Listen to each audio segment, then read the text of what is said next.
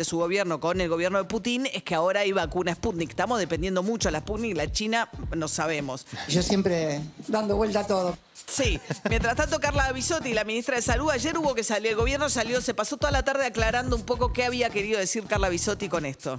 Es que si hay algún aumento de casos, lo importante es tomar medidas y lo más temprano posible, no esperar a tener una situación de, de un aumento muy acelerado en la unidad geográfica mínima y eh, de disminución de la circulación de personas, sobre todo por cajas horarias, no, no, no apuntar eh, a un confinamiento.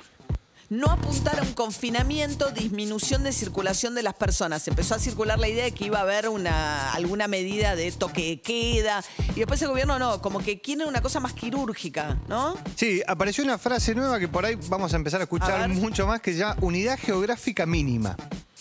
Todavía no queda claro qué significa, si es el un barrio. El barrio de Flores Claro. entra en confinamiento. Claro. O las manzanas, ¿no? Tal. Manzana 4 y 5 de retiro. De retiro pasan a confinamiento.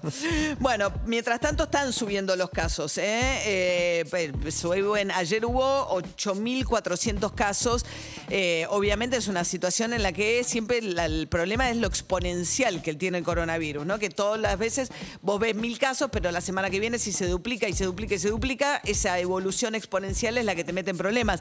Por ahora tenemos un panorama mucho mejor que el de nuestros países vecinos, donde hay restricciones serias, Chile, Uruguay, Brasil, Paraguay. Mientras tanto, Hugo Moyano tiene varios frentes. ¿Se acuerdan que el libro de Macri, yo les conté que tiene un capítulo donde dice que uno de los negocios abajo de la mesa que tiene Moyano es que para poder circular el camión tiene que decir que tenés libre deuda con el sindicato, que no le debes nada de aportes al sindicato. Ese libre deuda lo emite el sindicato y según Macri a veces te piden, bueno, los empresarios supuestamente se han quejado ante Macri de que a veces, bueno, hay que pagar más plata para conseguir eso. ¿Qué dijo Moyano sobre lo que dijo Macri? Cuando salió el libro, unos muchachos que son los que distribuyen eso me trajeron. Y esa parte me leyeron, la, la parte que él habla. Pero es, es, es más de los disparates y estupideces que dice este este señor, que realmente yo no quiero, no, no soy tipo de ofender ni nada de... Pero es un boludo asintomático. Este, este, este, este dice cada estupidez. habla, habla... Bueno, y lo pasan en el canal que es parte de sus propiedades.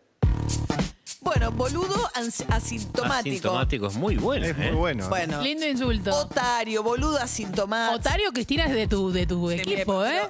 Boludo asintomático porque lo que dice Macri es que él recibe una crisis asintomática, que cuando él recibe el poder de Cristina Fernández de Kirchner había una bomba a punto de explotar que no había explotado y que entonces no nos dimos cuenta de la gravedad de la herencia que tuvo Macri porque estaban congeladas las tarifas, el dólar estaba atrasado, había un déficit fiscal muy grande. En fin.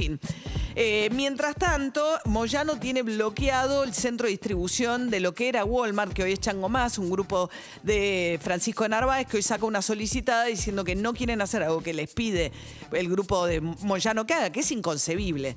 Perdónenme los trabajadores, los, los choferes de los centros de distribución, pues dice, como cambió la razón social de la empresa, los tenés que echar a los camioneros y volver a tomarlos. Indemnizar en el medio y volver a tomarlos manteniéndole todos los beneficios que tenían antes. Por ejemplo, la antigüedad. Respetándole la antigüedad.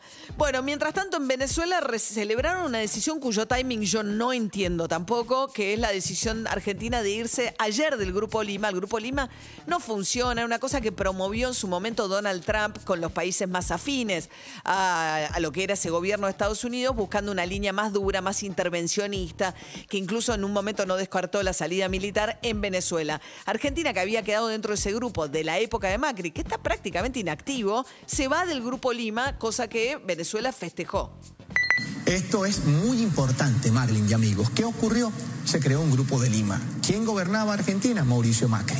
Y ahora, quien está al frente, Alberto Fernández, eh, sale que pareciera, por supuesto, una escalada, porque varios gobiernos ya han dicho no al grupo de Lima. Algunos siguen insistiendo, pero saben que es estéril, porque es un grupo completamente extraterritorial. Con Bien, decisiones- eso era los, eh, un medio venezolano de la cadena estatal eh, festejando esta decisión. Mientras tanto, ayer, en el día del aniversario del golpe, eh, Horacio Rodríguez Larreta, el jefe de gobierno de la ciudad, que tuvieron dificultades en la cancha de River para vacunar, citaron a gente que no se, se fue frustrada sin su vacuna, personal de salud y docente, pero la cuestión es que ayer que salió de una arritmia cardíaca que lo había dejado internado preventivamente durante 24 horas. Horacio Rodríguez Larreta contó en el aniversario del golpe que en su familia sufrieron el secuestro de su padre en plena dictadura militar. Sí, yo tenía, ponele 12 años y me acuerdo que nosotros vivíamos con mi viejo y con mis hermanos nos turnábamos para dormir con él. Y una noche que me tocaba a mí dormir con él, la chica que trabajaba en casa toca la puerta, señor lo buscan abajo, era raro, 3 de la mañana, yo me acuerdo que me desperté y papá se levantó y dijo, bueno, a ver quién es, y no volvió. Después nos enteramos por alguien que lo vio abajo, no sé si un sereno, quién lo vio, que bajó como a abrir y lo agarraron literalmente en un Falcon verde. Se lo llevaron en los, simbólicos Falcon verde. Y desapareció. No tuvimos más noticias. Bueno, el padre reapareció rápidamente, después contó porque, bueno, era presidente de Racing en ese momento. Era presidente de Racing y jugaba Racing River, era como un clásico así, y de repente aparecieron todos y no estaba el presidente de Racing. ¿Y dónde está el presidente de Racing? ¿Y dónde está el presidente de Racing?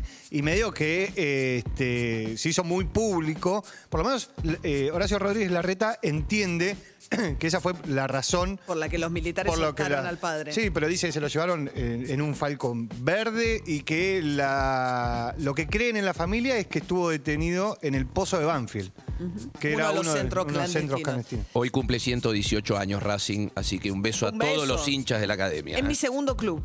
Buah. Ay, ¿Cómo queda bien con club? todo. No, mi segundo club es mi familia, somos la mitad de San Lorenzo y Ah, la mitad de bien. Racing. Mi viejo era de Racing, es mis raro ser de hermanos dos son de equipos Racing. grandes. No, es mi segundo club, no dije. Ah, eh, perdón. Yo soy de San Lorenzo, punto. Punto. Es como lo de ve- ver en cancha, una cosa así. Claro, si ¿no? después no, San Lorenzo no estuviera por alguna razón, mi segundo sería Por favor, Racing. María, no es serio, eso Bueno, no es serio. bueno, Tiene está razón, bien, Alberto. Alberto. Siete y cuarto de la mañana, mañana lluviosa, encapotada, Ari. Viajamos a septiembre de 1977, ahí aparecía un simple con dos canciones. Una de ellas era esto que después se convirtió en casi un himno, ¿no? Y versionado por tantos. Por ejemplo, aquí por el bueno de David Coleman. P de David Coleman, claro. Pero de Richard Coleman, ¿qué estás diciendo? Esto es Heroes.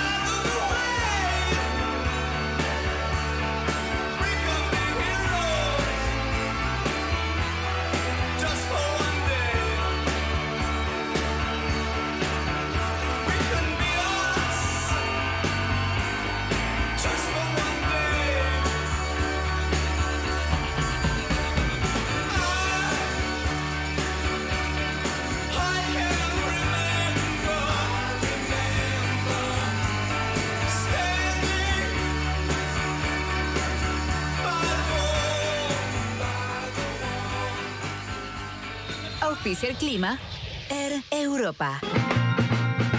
Bueno, eh, encapotadísima esta mañana y parece que seguimos así, ¿no, Jopo? María, se ha atenuado ahora un poco el ritmo de lluvia, pero atención, estamos receptivos a chaparrones y tormentas durante toda la mañana. Además, durante toda la jornada de hoy, 20 grados, 7 décimas ahora en Buenos Aires, la humedad altísima, 96%, viento desde el este a 10 kilómetros por hora, cielo nublado, visibilidad 7 kilómetros acortada por las lluvias. Atención, es una jornada inestable, con diferentes ritmos de precipitación durante todo el día. Seguimos expuestos a intensificaciones de la lluvia, puede haber tormentas, puede haber chaparrones hasta el atardecer, por ahí algunas mejoras temporarias ya cerrando el día de hoy. Máxima 23 grados. Gracias, Jopo. Y manejen con mucha precaución. Ya hubo un choque en cadena en autopista en el acceso oeste, eh, a la altura de Castelar, kilómetro 23. Muy despacio, mucha precaución, muy jabonoso el piso. Vuele a toda Europa con la flota más moderna y eficiente. Tres frecuencias semanales a Europa desde 669 dólares. Nuevos protocolos de seguridad, mayor flexibilidad en cambios y siempre los mejores precios con la mejor financiación. Air Europa. Tú decides. La tarifa no incluye tasas ni impuestos. Para más información visite www.aireuropa.com. En cada momento. En cada lugar. Suena. Suena Urbana Play 1043. Una nueva experiencia. ¿Jabón antibacterial o hidratante? Nuevo Dove antibacterial. Elimina el 99,9% de las bacterias en segundos sin resecar tu piel. ¿Piel protegida e hidratada? Ahora con Dove. Home. Office. Office. Home. Office. Cuando depositas tu sueldo en ICBC, no importa dónde trabajes, tu sueldo siempre rinde más. ¿Tenés ganas de que tu sueldo rinda más? Sí. Cambia tu sueldo a ICBC y accede a un préstamo personal a tasa 0% y a muchos beneficios todo el año. Pedilo online en www.sueldos.icbc.com.ar. Es fácil, rápido y sin costo. ICBC, sí. Costo financiero total nominal 9%. Para más información ingresa en www.sueldos.icbc.com.ar. Pasó en Urbana Play. Ya llegó Diego Ramos y el aplauso es para él, por supuesto. Muchas gracias, buenas tardes. Julieta Luciana Pink, Diego, nos trae 104 cosas que hay que hacer Sí. antes de morir. Y Diego no escuchó seguro las anteriores. Alguna vez hay que viajar en Pará, primera. ¿Viajaste en primera alguna vez? Sí, sí. Bueno, es toda una historia medio rara. Iba con una persona con la que yo salía que nadie sabía nada. Nos hicieron un upgrade. Nuestros amigos se quedaron en la ejecutiva. Pobres. Pobres, por, por ignotos. Por pobres. Estamos felices. Bueno, nada, el upgrade llegamos, nadie se dio cuenta, qué sé yo. Son tan correctos los ingleses que llegaron a, llegamos a, a Londres. Queremos agradecerle al señor Diego Ramos y a tal persona por volar con nosotros. Yo me quería morir. Vuelta y media. lunes a viernes. 17 a 20. Sebastián Weinreich, Julieta Pink y Pablo Fábregas están en Urbana Play 1043. Una nueva experiencia. Con Fiverr Personal estás más conectado. Contratá 100 megas de Fiverr a 1800 pesos finales por mes y además te regalamos 30 gigas para que disfrutes en tu personal. Suscríbete llamando al 0800 199 0200. Personal y Fivertel. Válido del 8 del 3 del 2021 al 30 del 4 del 2021. Para más información consulta en personal.com.ar. Telecom Argentina S.A. Alicia de Justo 50 Cavacuy 30 63 94 53 73 8. Llegó una nueva manera de cuidar tu ropa. Nuevo Skip líquido para diluir. Cuida tu ropa con la mejor tecnología de Skip. Y es muy fácil de usar. Agregás 2 litros y medio de agua. Agregás Skip para diluir. Mezclas y listo. Rinde 3 litros y tenés hasta un 20% de ahorro. Nuevo Skip para diluir. La mejor tecnología de Skip en un formato más económico. Ya estamos vacunando contra el COVID-19. Desde el Estado Nacional garantizamos el acceso gratuito a las vacunas, principalmente para la población de riesgo y para quienes cumplen funciones definidas como estratégicas. Informate más en argentina.gov.ar barra vacuna COVID. Reconstrucción Argentina. Argentina Presidencia. La ciudad tiene un nuevo sonido.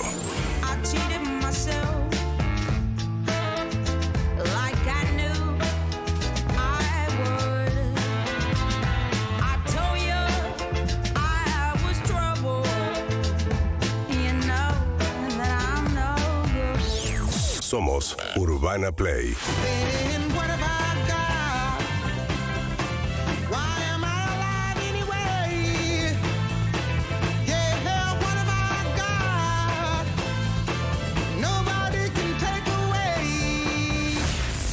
1043. Una nueva experiencia.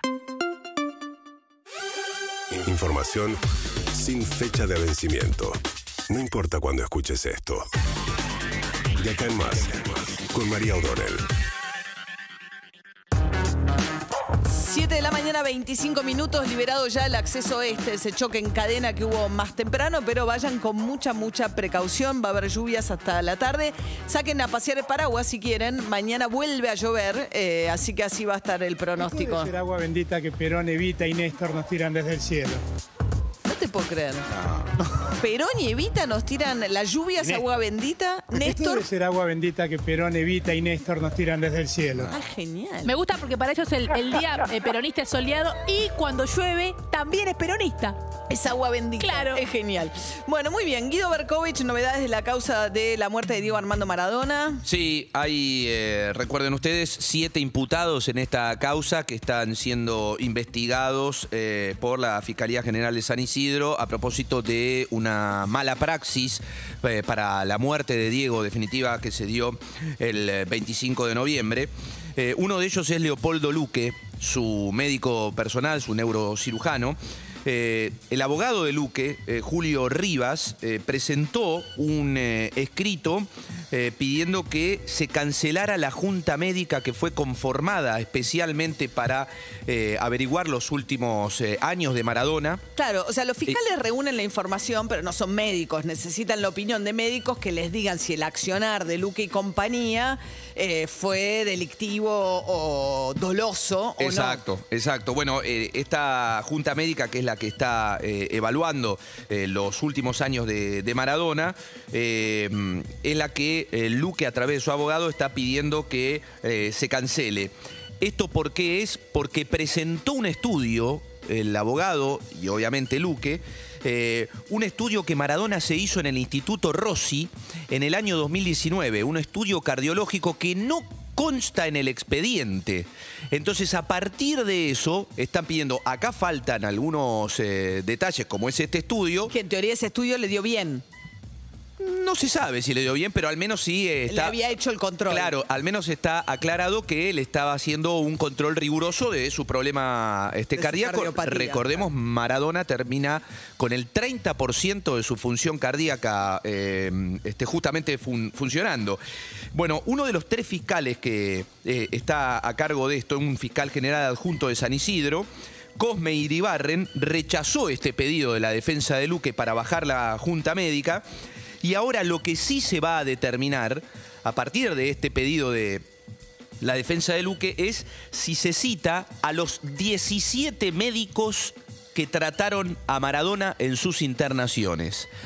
Para ahí averiguar puntualmente qué hizo cada uno de ellos, cómo se desempeñó y si eventualmente se suma un imputado más a la causa, hay siete eh, en total.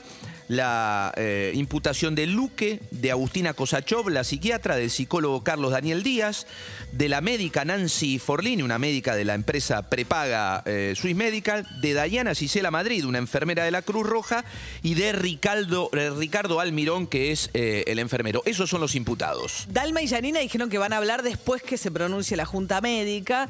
La pregunta es, ¿todos ellos o Morla por, eran contratados por eh, Luque y compañía, perdón, eran contratados por Matías Morla, el abogado de Diego Armando Maradona, socio de su marca, y ahí apuntan las hijas de Maradona, que el máximo responsable para ellas es Morla, que va a romper el silencio en el que está sumido desde la muerte de Maradona con el debut de Real, ¿no, Ari? Exactamente, sí, en TV Nostra. Esto va a empezar el 5 de abril. TV Nostra, el programa de Real, va a empezar a las 20.30. Va a haber un cambio de horarios ahí en, América. A las 19 va a ir Polémica en el Bar. 20.30 Jorge Real con este programa que, según cuentan, eh, va a ser eh, algo más similar.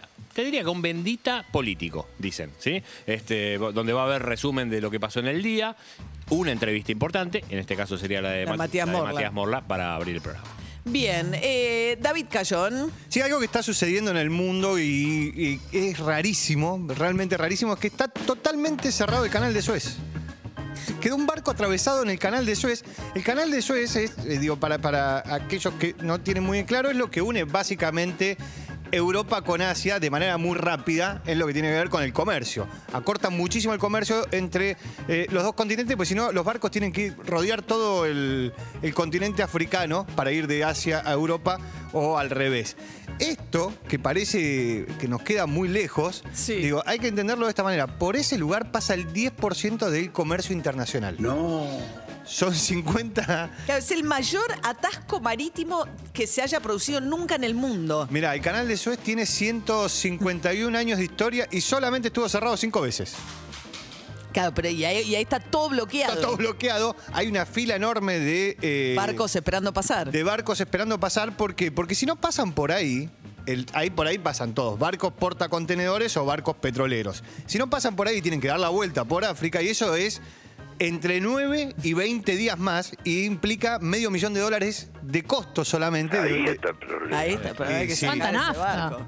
¿Eh? ¿Cuánta nafta bordear África? Nafta, nafta. Sí, bueno, eso implica eso. Ahora, ¿qué es lo que puede pasar si esto no se resuelve rápido? Están ahí trabajando, están excavando el costado de eh, la margen del canal de Suez, porque, claro, el barco quedó trabado. Quedó atacado. Sí, quedó atacado. Claro, es impresionante. Yo una vez contó, el, no sé si conocen ustedes el canal de Panamá. Eh, eh, es muy impactante porque, claro, lo que hace el canal de Panamá eh, es. eh, Tiene esclusas. Tiene esclusas porque hay, hay el Atlántico o el Pacífico, hay uno que es mucho más bajo que el otro. Sí. Entonces, el, barco que viene de repente baja de golpe una, o sube de golpe, y, y si eso no lo hacen con esclusas y lentamente o progresivamente, no podrían pasar. Entonces, básicamente es eso, digamos, lo ponen como despacito Claro. para hacer la transición de un océano al otro. Son unas obras de ingeniería impresionantes esos Sí, canales. el problema de eso es que los barcos son cada vez más grandes. Claro. y entonces, pero las obras de ingeniería quedaron, Quedaron eh, viejitas. quedaron viejitas. Bien. Hay, hay que empezar a prestar atención y esto sí impacta en todo el mundo porque, porque por ahí pasa mucho petróleo, impacta en el precio del petróleo. Por ahí No, pasa. no, no, no. Acá viste que cualquier estornuda te Por suben el favor. precio de la nafta. Basta, David, no des ideas. Pa- pasa no mucha des ideas. No van a decir, por no, se atascó un barco en el canal de Suez. Sí, sí, ya subió su- el- el No, precio del Brent. Detenete. bueno, hablando de logística, vamos a hablar de lo que está pasando con Walmart. Eh, en realidad está vendida ahora el grupo de, eh, de Narváez, que es Chango Más. No sé si sigue, sigue usando el nombre Walmart. Por ahora le vamos a preguntar al vocero justamente de Walmart, que es Juan Quiroga, que están con un conflicto con camioneros que suscitó hoy la publicación de una gran cantidad de solicitadas. Dice dentro de la ley todo, fuera de la ley nada. Ya nos va a contar cuál es el conflicto Juan Quiroga. ¿Qué tal, Juan? Buen día. ¿Qué tal, María? Buen día. ¿Sigue siendo Walmart? Sigue siendo Walmart, sí, exactamente. Ahora lo que cambió es la denominación social, digamos, de la compañía, pero la marca, digamos, hoy por hoy, todavía de 29 sucursales nuestras, por ahora sigue siendo Walmart, pero obviamente hay un compromiso de tener que cambiar el nombre. Ah, eventualmente cambiarán el nombre, está bien. Exactamente. Eh, bueno, lo que informan hoy ustedes en una solicitada es un reclamo del sindicato de camioneros de lo que es la planta de distribución, del centro de distribución de la empresa. Sí, exacto. Nosotros hace ya 15 días que venimos sufriendo una serie de medidas de fuerza encubiertas, rendimientos nuestros completamente ilegales, lo que derivaron es una paralización del centro de distribución. Hasta el martes estábamos operando al 25%, hoy ya el bloqueo es total. Esto obviamente nosotros tenemos un solo centro de distribución que está ubicado en Moreno, que abastece a las 92 sucursales que tenemos en 22 provincias, con lo cual el abastecimiento, digamos, está completamente en riesgo en todas nuestras sucursales. Ahora, el reclamo de camioneros es que dado el cambio de la razón social, digamos, de que Walmart se vendió a Chango Más, por decir, por simplificarlo, eh, ustedes tienen que pagarle la indemnización a los choferes que trabajan en el centro de, distribución como si fuesen despedidos y volver a contratarlos. Exacto, si el reclamo de ellos es que, es que al haber cambiado la denominación deberíamos efectivamente despedir, indemnizar al doble y volver a contratar con la misma antigüedad. Nosotros lo que estamos diciendo es en- que en primer lugar, digamos, lo único que cambió es la composición accionaria. La empresa sigue siendo la misma, tiene el mismo quit, tiene las mismas obligaciones fiscales, tributarias, los mismos negocios, los mismos eh, activos, los mismos pasivos que tenía, con lo cual hay una continuidad operativa. Esto, para ponerlo blanco sobre negro, digo, uno tiene derecho a cambiar su nombre y apellido en un DNI, pero no por cambiarlo, digamos, el número de DNI es distinto, o las deudas que tuvo las puede dejar de tener, o cambiar sus relaciones, digamos, en función de eso.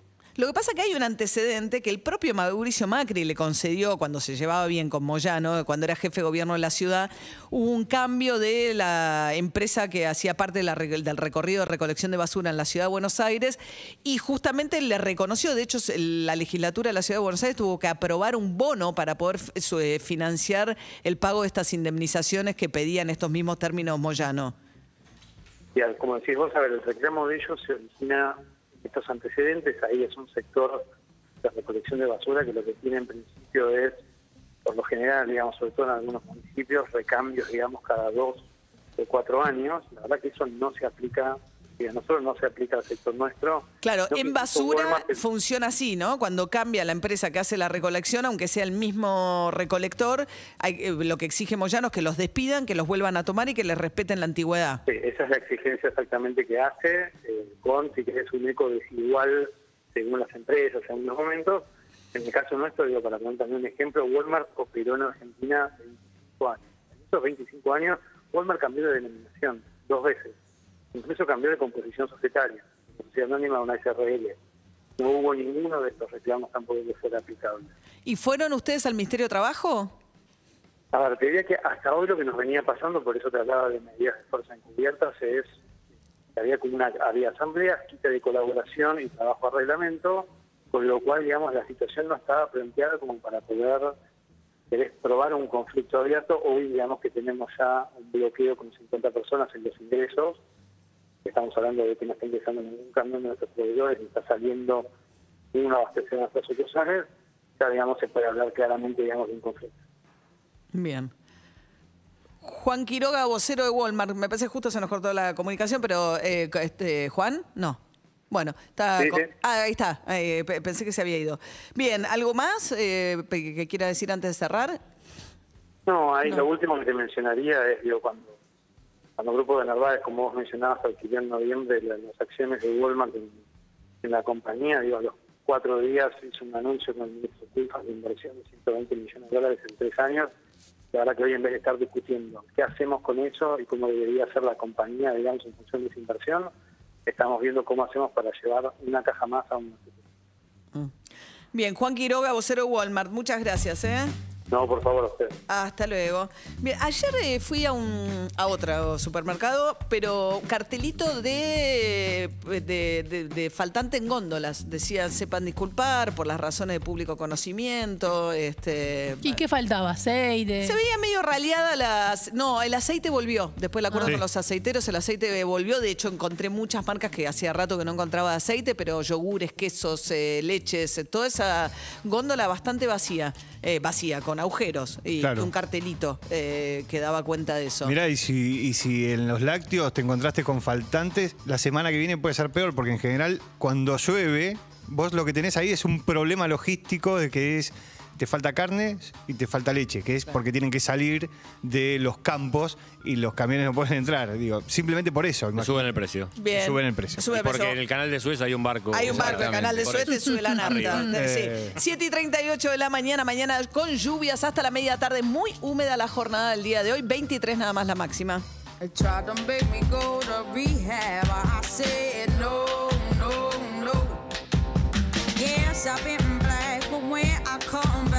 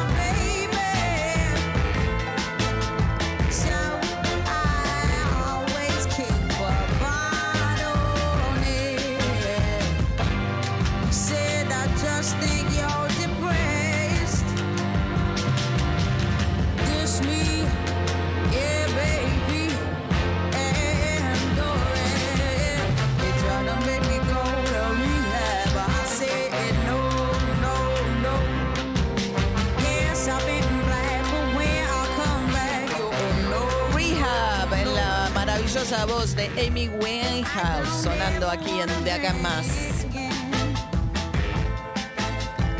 A las 7 y 40 de la mañana.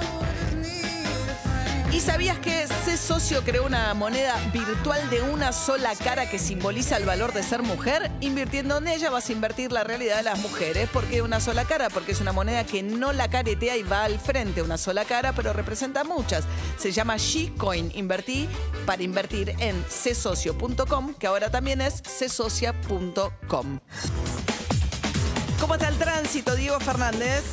María, muchas gracias. En Panamericana marcha muy lenta entre la ruta 197 y la altura de Camino Real, mientras que en acceso oeste hay demora muy fuerte de varios kilómetros tras un choque en el kilómetro 23 sentido a Capital Federal. Avenida General Paz congestionada desde Autopista Richeri rumbo al Río de la Plata y la autopista La Plata-Buenos Aires a partir del kilómetro 4. Usuarios de trenes, el Roca en los ramales eléctricos y el Belgrano Sur en sus dos ramales están funcionando con demora. Finalmente, María, nueve y media, está prevista una manifestación de organizaciones sociales en el obelisco. Muchas gracias, Diego. Hasta luego. Hasta luego. Bien, Ari Gergot. Te voy a contar una noticia que puede empezar a preocuparnos. A ver. Eh, tiene que ver con Netflix porque, porque Netflix, en realidad todas las plataformas de streaming se están dando cuenta que están perdiendo bastante dinero eh, con esto de el compartir el password, ¿no? Que la verdad lo hacemos bastante. Por ejemplo, entre nosotros, María, vos pagá Netflix y pasame el usuario a todos los demás. Flora va a pagar HBO Max, eh, David va a pagar eh, Amazon Ah. y así. Está buenísimo, armamos la cooperativa Yo de zafé, los streamings. Claro. Yo zafé. Sí. Zafaste, A vos te toca el pack fútbol. Pero pará, yo supuestamente en mi casa tengo máximo cinco accesos de Netflix. Exactamente, sí, eso está bien. Vos pagás eh, un acceso lo- y lo disfrutás en tu casa, co- lo compartís con tus hijas, seguramente. Bueno, eso, hasta eso está bien. Lo que no quiere Netflix es que pasemos ese password afuera de tu casa, ¿sí? O sea, se lo das a tu a, a alguien que vive, no sé, be- be- be- que fuera de tu casa específicamente, se lo das, no sé, a tu, a tu suegro, a Sí. tu, ¿no? Eh, Bueno, por afuera. Ahí es donde se dieron cuenta que están perdiendo mucho dinero. Específicamente, la cuen- las cuentas le dan que están perdiendo 6 mil millones de dólares con esto que se llama password sharing. Eh, entonces Netflix empezó a probar alguna funcionalidad con un grupo de usuarios. Lo que hicieron es que te llega un mensaje en el cual tenés que confirmar si eh, sos vos el usuario o no. Te llega o un mensaje de texto Ah. o un mail. ¿sí? Tipo el banco. Claro, ¿viste? Tipo el banco, te manda una clave, un SMS o un mail y tenés que corroborar que sos vos. Tenés que poner esos numeritos y ahí seguís o no utilizando. ¿Qué es Igualmente. la ventaja del original? Claro, claro. Claro, pero a diferencia de lo del banco, que te lo manda tu propio celular, ellos se lo mandan al que paga la cuenta Claro. para que vos tengas esta cosa engorrosa de tener que llamarlo y decir, uy, ¿qué te dice? ¿Qué te dice? Igualmente por ahora lo que está pasando es que te lo deja, te permiten, ponerle que no pongas ese password, no te llegue a vos, o le digas al, al que le llega el mail, pasame el password, lo pone de nuevo, esos cuatro numeritos. Eh, por ahora sigue funcionando, pero están probando las funcionalidades para restringirte esto que se llama password sharing. Como te decía, estas compañías, todas, no solo Netflix, hicieron un estudio y están perdiendo 25 mil millones al año en esto que se llama password sharing. Bueno, más no les va, no les va. No, password claro, sharing, bueno, por pero- compartir el password tampoco. Lo que pasa es que Netflix se ve, se ve venir, sobre todo en junio, específicamente con la llegada de HBO Max, una guerra ya furibunda en esto del streaming. Ya han salido muchísimos. A mí me parece una muy mala serie. No, no, otra vez, ¿Cuál? Alberto, No, por no, favor, eh. no, no. Por favor. Una serie que se llama No, no. No, Alberto, basta, basta, basta. Bueno, por ahí de Eddie, se, se- no sé, se la compartió a DC Son seguramente. capítulos de media hora, son capítulos Sí, cortos. sí, sí, no, claro. Bien, no compartan más el. pa- pa- Está viendo cómo hace Netflix para evitar que sigamos compartiendo los. los- Aprovechemos mientras dura. Mientras Sí. dura. Va a haber peleas, acordate. Me gusta mucho Netflix. Eh, Sí, a Cristina.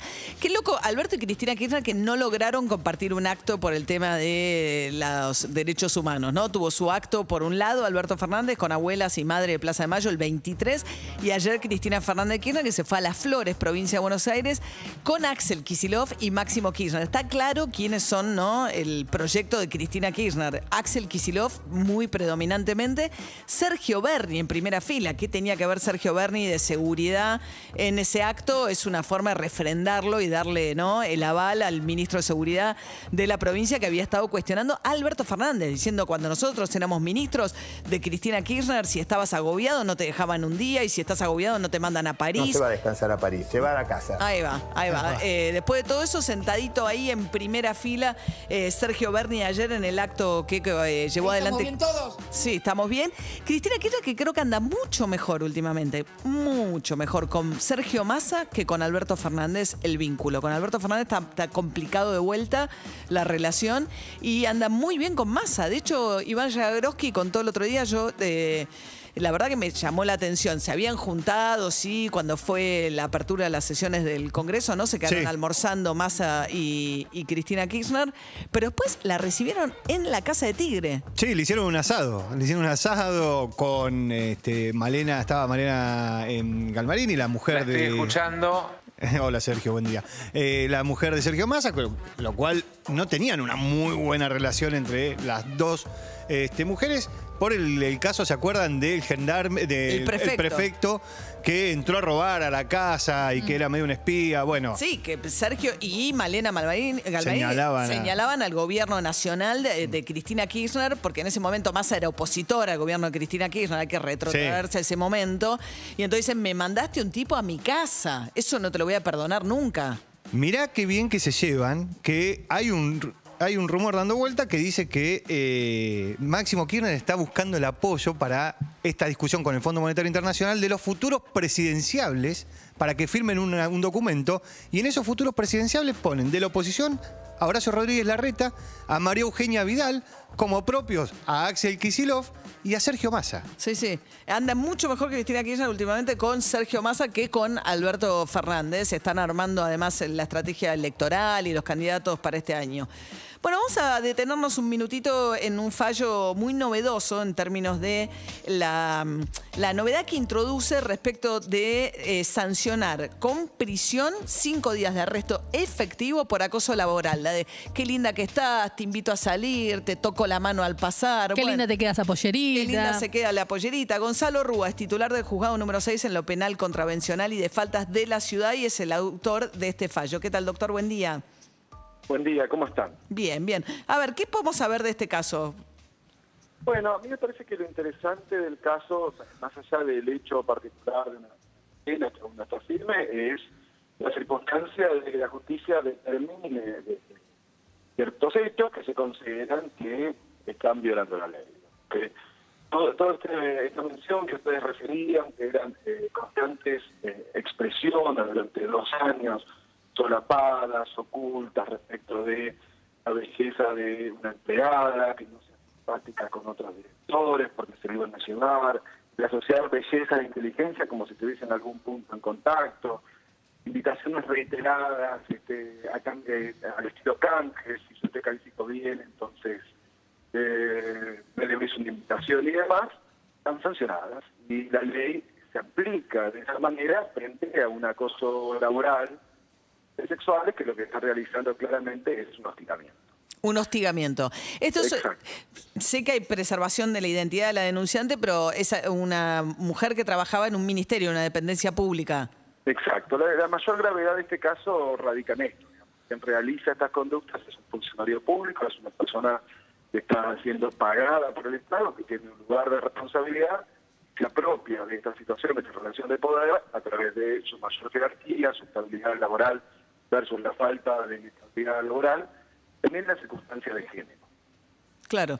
Sí, pues se supone, entre enorme comillas, que es como halagador, qué linda que estás, qué bien que te viniste, etcétera, de alguien que se siente intimidada en una situación así y que siente que tener que decir que no o rechazar esas insinuaciones repercuten sobre su trabajo, además. Absolutamente, absolutamente, porque hubo muchas veces, surgió de la prueba y quedó acreditado, que, que la empleada freno. Pero el punto que a mí me gustaría destacar mucho que tiene que ver con la importancia de la oralidad y de resolver en el momento realmente frente al imputado y frente a la víctima este tipo de casos. ¿Estaban los dos general- juntos cuando les anunciaron la, la sentencia? Exactamente, estaban las dos personas, este, pueden presenciar, la sentencia es eh, oral plenamente. Me parece que lo que estamos discutiendo aquí es qué tipo de justicia queremos. Tenemos una justicia oral, que donde los jueces se expiden en el momento, donde dictan la sentencia oral, o queremos una justicia escrita, secreta, de esa que eh, tan mal acostumbrados nos tienen en, en muchos casos eh, relevantes. ¿Y el condenado entendió? Digamos, este funcionario público entendió lo que se le estaba señalando? Sí, sí, eh, claramente lo tiene que entender, digamos, porque es una explicación muy llana, es una sentencia que se dicta en el momento. Después hay otra cuestión que es una cuestión más bien patriarcal, diría yo, de ver hasta dónde una persona puede llegar a comprender o no. Por eso la sentencia también lo que hace es establecer, más allá de la pena de arresto, porque estamos hablando de una contravención, no de un delito, más allá de la pena de arresto, es la realización de un taller con perspectiva de género para que pueda, de alguna manera, poder internalizar ciertos este, valores. Claro. Ahora, ¿el funcionario sigue siendo funcionario? ¿No pierde su cargo por eso? Nosotros informaremos al ministerio respectivo, ya no- no queda dentro de mi órbita determinar si va a seguir trabajando en el ministerio, si va a ser suspendido o si va a ser expulsado del ministerio. Bien. Pero hay un punto incluso también que es más importante aún, que tiene que ver con el derecho penal, que es qué tipo de derecho penal queremos. El derecho penal trata de resolver los conflictos y por eso uno intenta siempre buscar eh, una, una salida alternativa al conflicto. ¿Cómo se puede solucionar el conflicto entre dos partes? Me ha pasado mucho en este caso en otros casos donde la sentencia donde me preguntan si realmente cinco días de arresto soluciona algo o no. Lo que creo es que si, digamos, si no se puede solucionar el conflicto por la gravedad por las partes no quieren salida alternativa, es muy importante la oralidad en el sentido de reconocimiento del derecho. La víctima, eh, en estos casos, pasó la semana pasada. eh, Doctor, tenemos semana, un problema que es que se escucha muy mal. Eh, eh, nos, nos está costando seguirlo. Eh, Bueno, a ver, ahí me escuchan mejor. Sí, pe- pe- sí, a ver, rápidamente cerremos la idea. fuerte. Sí, a, a- a- a ver. Lo- que decía es, en los casos aún en que no queda otra alternativa que la, la aplicación de una pena de prisión, es muy importante el reconocimiento del derecho, que la víctima sepa que es escuchada, que la víctima Claro. sepa que se le reconoce el derecho y que en definitiva hay un castigo para este tipo de Bien. Gonzalo Rúa, titular del juzgado 6 en lo penal contravencional y de faltas de la ciudad. Muchísimas gracias y buen día. A ustedes, buen día. Hasta luego. Está bueno eso que dice, que, que se entiendan las sentencias, ¿no? A veces eh, hay algunos jueces que, se- que- que hacen esas. Me acuerdo hace poco una jueza que le escribió a la nena que había dado una adopción y, y le dirigió el fallo a, a la nena. Le dijo, vos me pediste esto, yo estoy acá para cuando me necesites. O sea, la idea de que la justicia se tiene que entender. eh, parece un concepto este, Sí, los fallos, en muchos casos, si no conoces eh, de terminología del derecho, No los entendés. No los entendés. no los entendés. A veces escriben porque escriben mal eh, y que no, no tienen la capacidad de escribir con sencillez y con simpleza, Mm. pero tiene que ser un requisito elemental que, se, que las partes puedan entender eh, la decisión que toma un juez. Al 11 68 61 10 104 3. Buen día María, Carlos de Tablada. Cómo llueve en la matanza. Mis nenes no van a la escuela, qué linda época. Cómo me gustaría no ir a laburar. Oh. Un abrazo a todos. Oh, qué lindo eh, faltar porque llueve, ¿no? Yo casi la hago hoy, ¿eh? Sí, Ah, bueno. Yo casi la hago. Eh, tuve la excusa de- del, del- del auto, pero bueno, finalmente el auto vino. Ah, Bueno, sí, Flora. Eh, Cualquier excusa le viene bien a Flora para llegar Pero no tarde, para falto. no venir. ¿Eh? No falté todavía. No faltaste. Sí, che, escúchame, ¿sigue la novela de Luli y, y Redrado? Me- No, María, cada día me sorprendo. Ni Alberto Migré tenía esta capacidad inventiva de generar un nuevo conflicto a diario creíble e interesante. Ahora salió, por supuesto, a remeter. Vamos a, a ponernos en, en auto a la gente, ¿no? Ayer Luli había mostrado una grabación en donde ella le dice, bueno, nos arreglamos, lo mostramos en los medios. Nos juntamos con mi abogada. Nos juntamos con mi abogada. Una charla eh, que ella graba en Miami. Eh, y donde a él se lo escucha perfectamente asintiendo todo el tiempo hasta ante estos pedidos. Como no, sí, llamemos Sí. a Ana. Sí, ella le dice, no vayas a comer con otra, no me cagues, no, No, por no, favor, no. tranquila. Bueno, después de haber hecho todo eso, aparece Redrado diciendo que no, que en realidad eh, ese audio, eh, primero que ese audio está editado, que él no está enamorado de ella. Raro, porque se pisan las voces, ¿viste? Hay uno que habla arriba del otro, es muy difícil editar eso. Raro. Y después dice que él le dijo a Luli que en realidad, viste que ella acusaba, ella decía que Redrado la había invitado él. Sí, a Miami, que él la lleva a Miami para la reconciliación. Bueno, no, él dice, no, no, no, la llevó Marcelo Aún. Ah, Marcelo ¿otro Aún empresario metió otro en la bolsa? Marcelo Aún es un abogado eh, que eh, fue pareja de Luli. Luli es muy de andar con los ex de viaje. Ex que ve y le dice, tomemos un avión. yo no pagué ese viaje. Entonces dice, la, la que le, la- le invitó a Luli es Marcelo Aún. Ella Miami me dice, juntémonos. Él le dijo, bueno, para ver a Matilda. Entonces, claro, contradice toda la versión de Luli, que ella dice, fui invitada por Martín, estuvimos juntos todos los días. Ella, de hecho, alegaba que había sido contagiada con coronavirus eh, por estar con él. Él dice, no, solo hubo una reunión en la que yo me fui a ver a la nena y ahí posiblemente hubo el, hubo el contagio.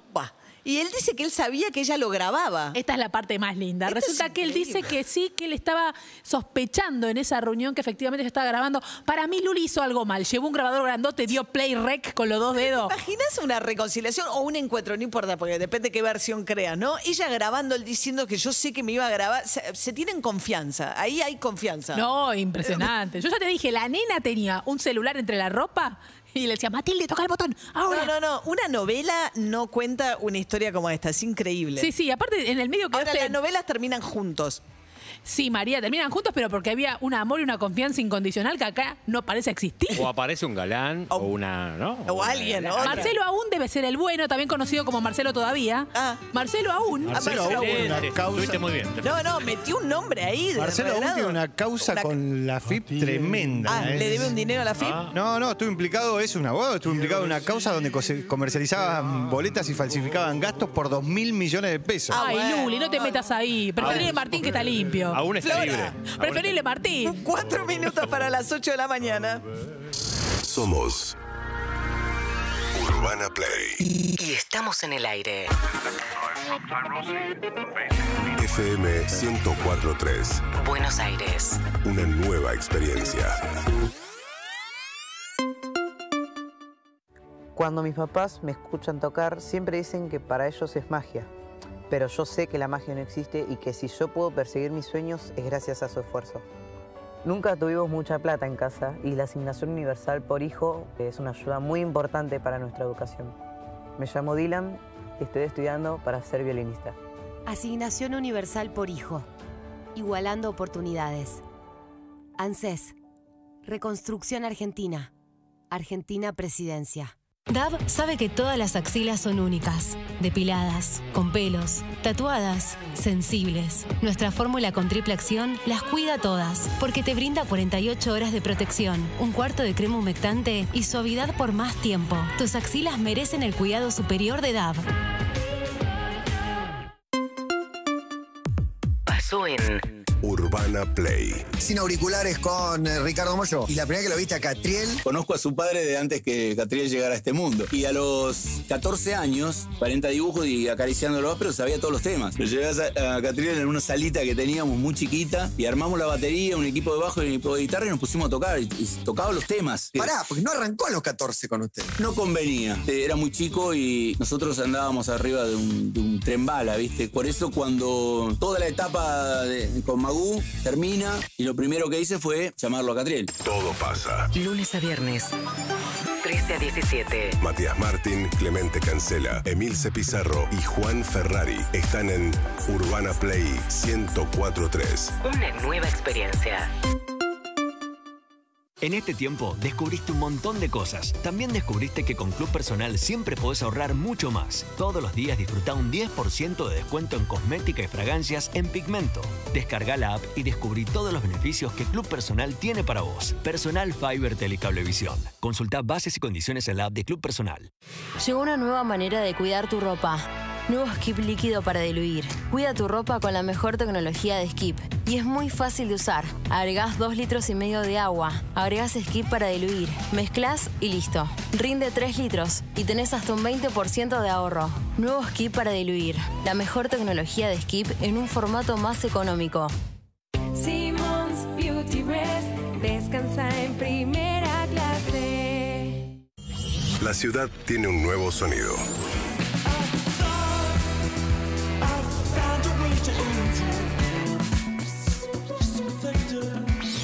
Somos Urbana Play.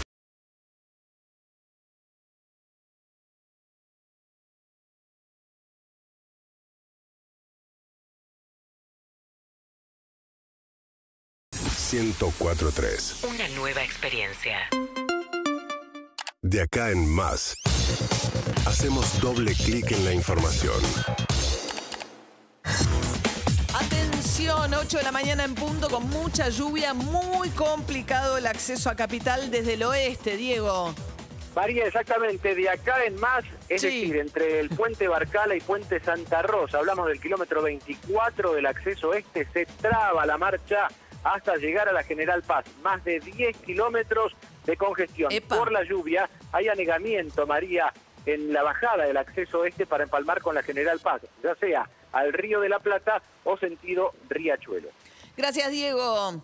Hasta Y- luego. Hasta luego. Ya dijo Jopo eh, que las lluvias seguirán hasta la media tarde. Hay mucha humedad en la ciudad de Buenos Aires, 95% de humedad. La máxima para el día de hoy, 23 grados, lluvia todo el día. El paraguas no está de más eh, en el día de hoy.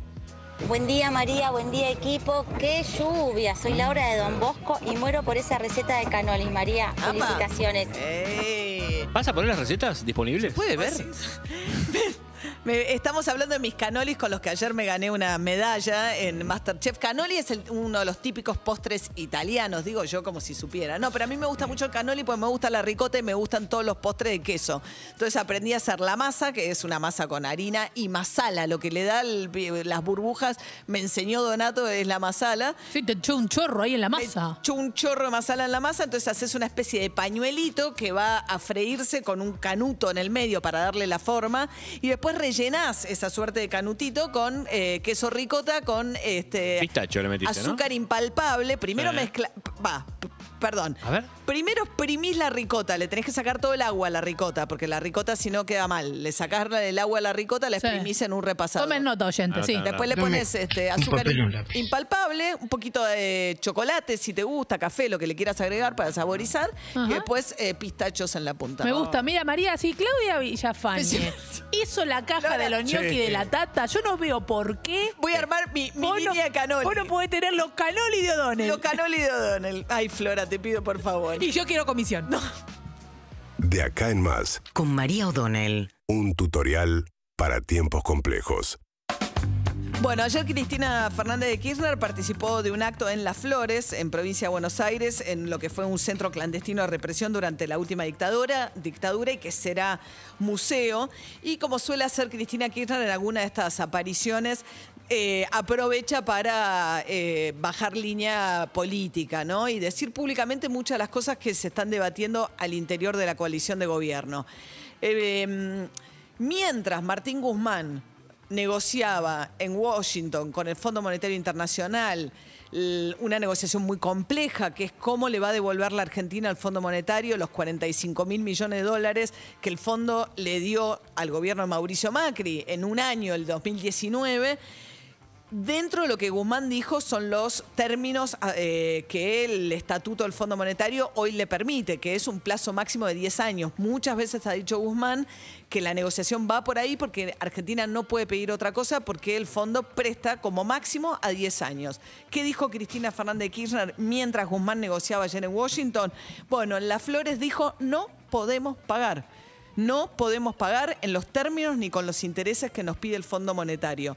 Con lo cual le pone a Martín Guzmán una misión que a priori, o por lo que uno escucha al propio Guzmán, es imposible de cumplir. Es de cumplimiento imposible para Guzmán hoy lograr más de 10 años de plazo. Eso también lo había planteado Cristina Kirchner a través de un documento que sacaron los senadores del Frente de Todos cuando vino la misión del Fondo Monetario a Buenos Aires. O sea, no son inocentes los momentos en los cuales Cristina Kirchner baja estos mensajes. En los momentos de negociación con el fondo, baja los mensajes más duros.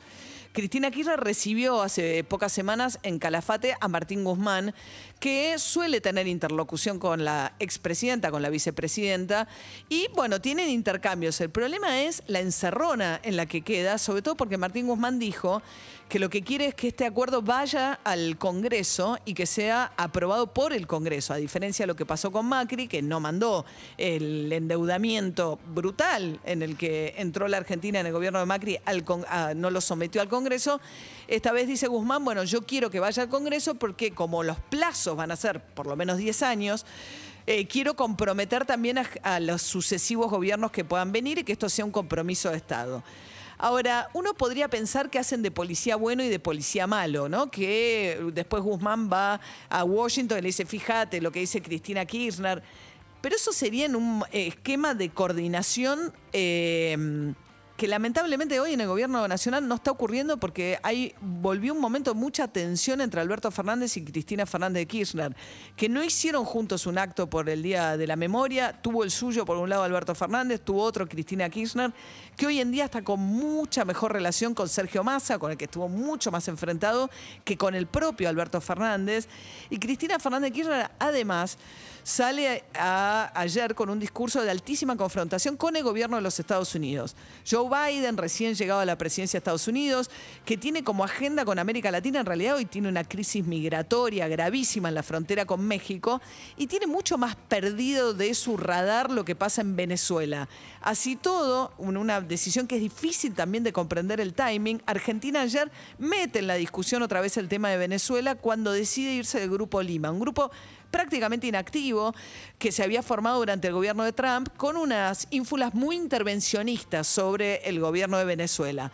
Argentina había tomado una decisión con, eh, Alberto Fernández que para mí era coherente y saludable cuando acompaña el documento que elabora Michelle Bachelet como funcionaria de Naciones Unidas planteando que... eh, hay violaciones a los derechos humanos en, eh, en Venezuela, pero después se va del Grupo Lima, rarísimo, ayer. Y entonces Cristina Kirchner en esa misma línea de mayor confrontación con los Estados Unidos, ayer dice que Estados Unidos apoyó el golpe del 76, lo cual es cierto, plantea que apoyaron a los ingleses en la guerra de las Malvinas y después dice que además este, hicieron eh, la excepción para la Argentina, apoyado por el Estados Unidos, que es el mayor accionista del Fondo Monetario Internacional, dándole a la Argentina un crédito a Macri que violó normativas del, del Fondo Monetario porque permitió que ese fondo, que ese dinero, se usara para eh, intervenir en el mercado de cambios. Pero no tiene mucho sentido que Cristina Fernández de salga a gritarle a Estados Unidos cuando necesita a Estados Unidos la Argentina para poder lograr una mayor flexibilidad del directorio del Fondo Monetario, donde Estados Unidos tiene un gran peso. Y sobre todo tirarle por la cabeza a la administración de Biden muchas de las cuestiones que hizo Trump, que uno las puede usar a su favor. De hecho, fue, llevó Martín Guzmán el libro que escribió el propio Macri a Washington para mostrar cómo Macri dice que lo apoyaron políticamente, que la razón por la cual el fondo le da ese nivel extraordinario de dinero todo junto a la Argentina en un año tenía que ver con una decisión del gobierno de Trump de apoyar a Macri. Pero Cristina Fernández de Kirchner sale a pelearse con el gobierno de Estados Unidos en un momento que parece bastante inoportuno. El timing de muchas de las decisiones parece resultar bastante confuso y sobre todo no parece ser muy atinado para los objetivos que quiere el gobierno, que es lograr del Fondo Monetario Internacional la mayor flexibilidad posible para devolver el crédito.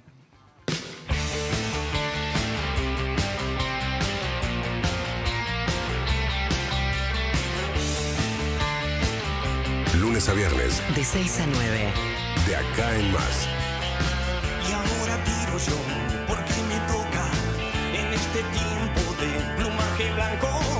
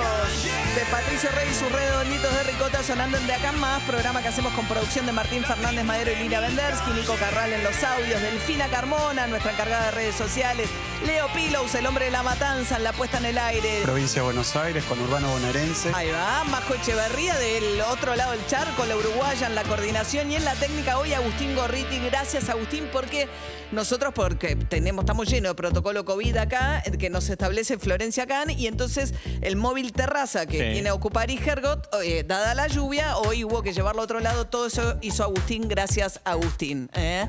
Un beso a Lisi Tagliani que nos está escuchando mientras viene el sur del conurbano. Lisi sí. nos puede dar el reporte del tránsito. Dice que está lloviendo ahí en Hudsones, ¿no? De donde Hudson, viene ella. Sí, sí, totalmente.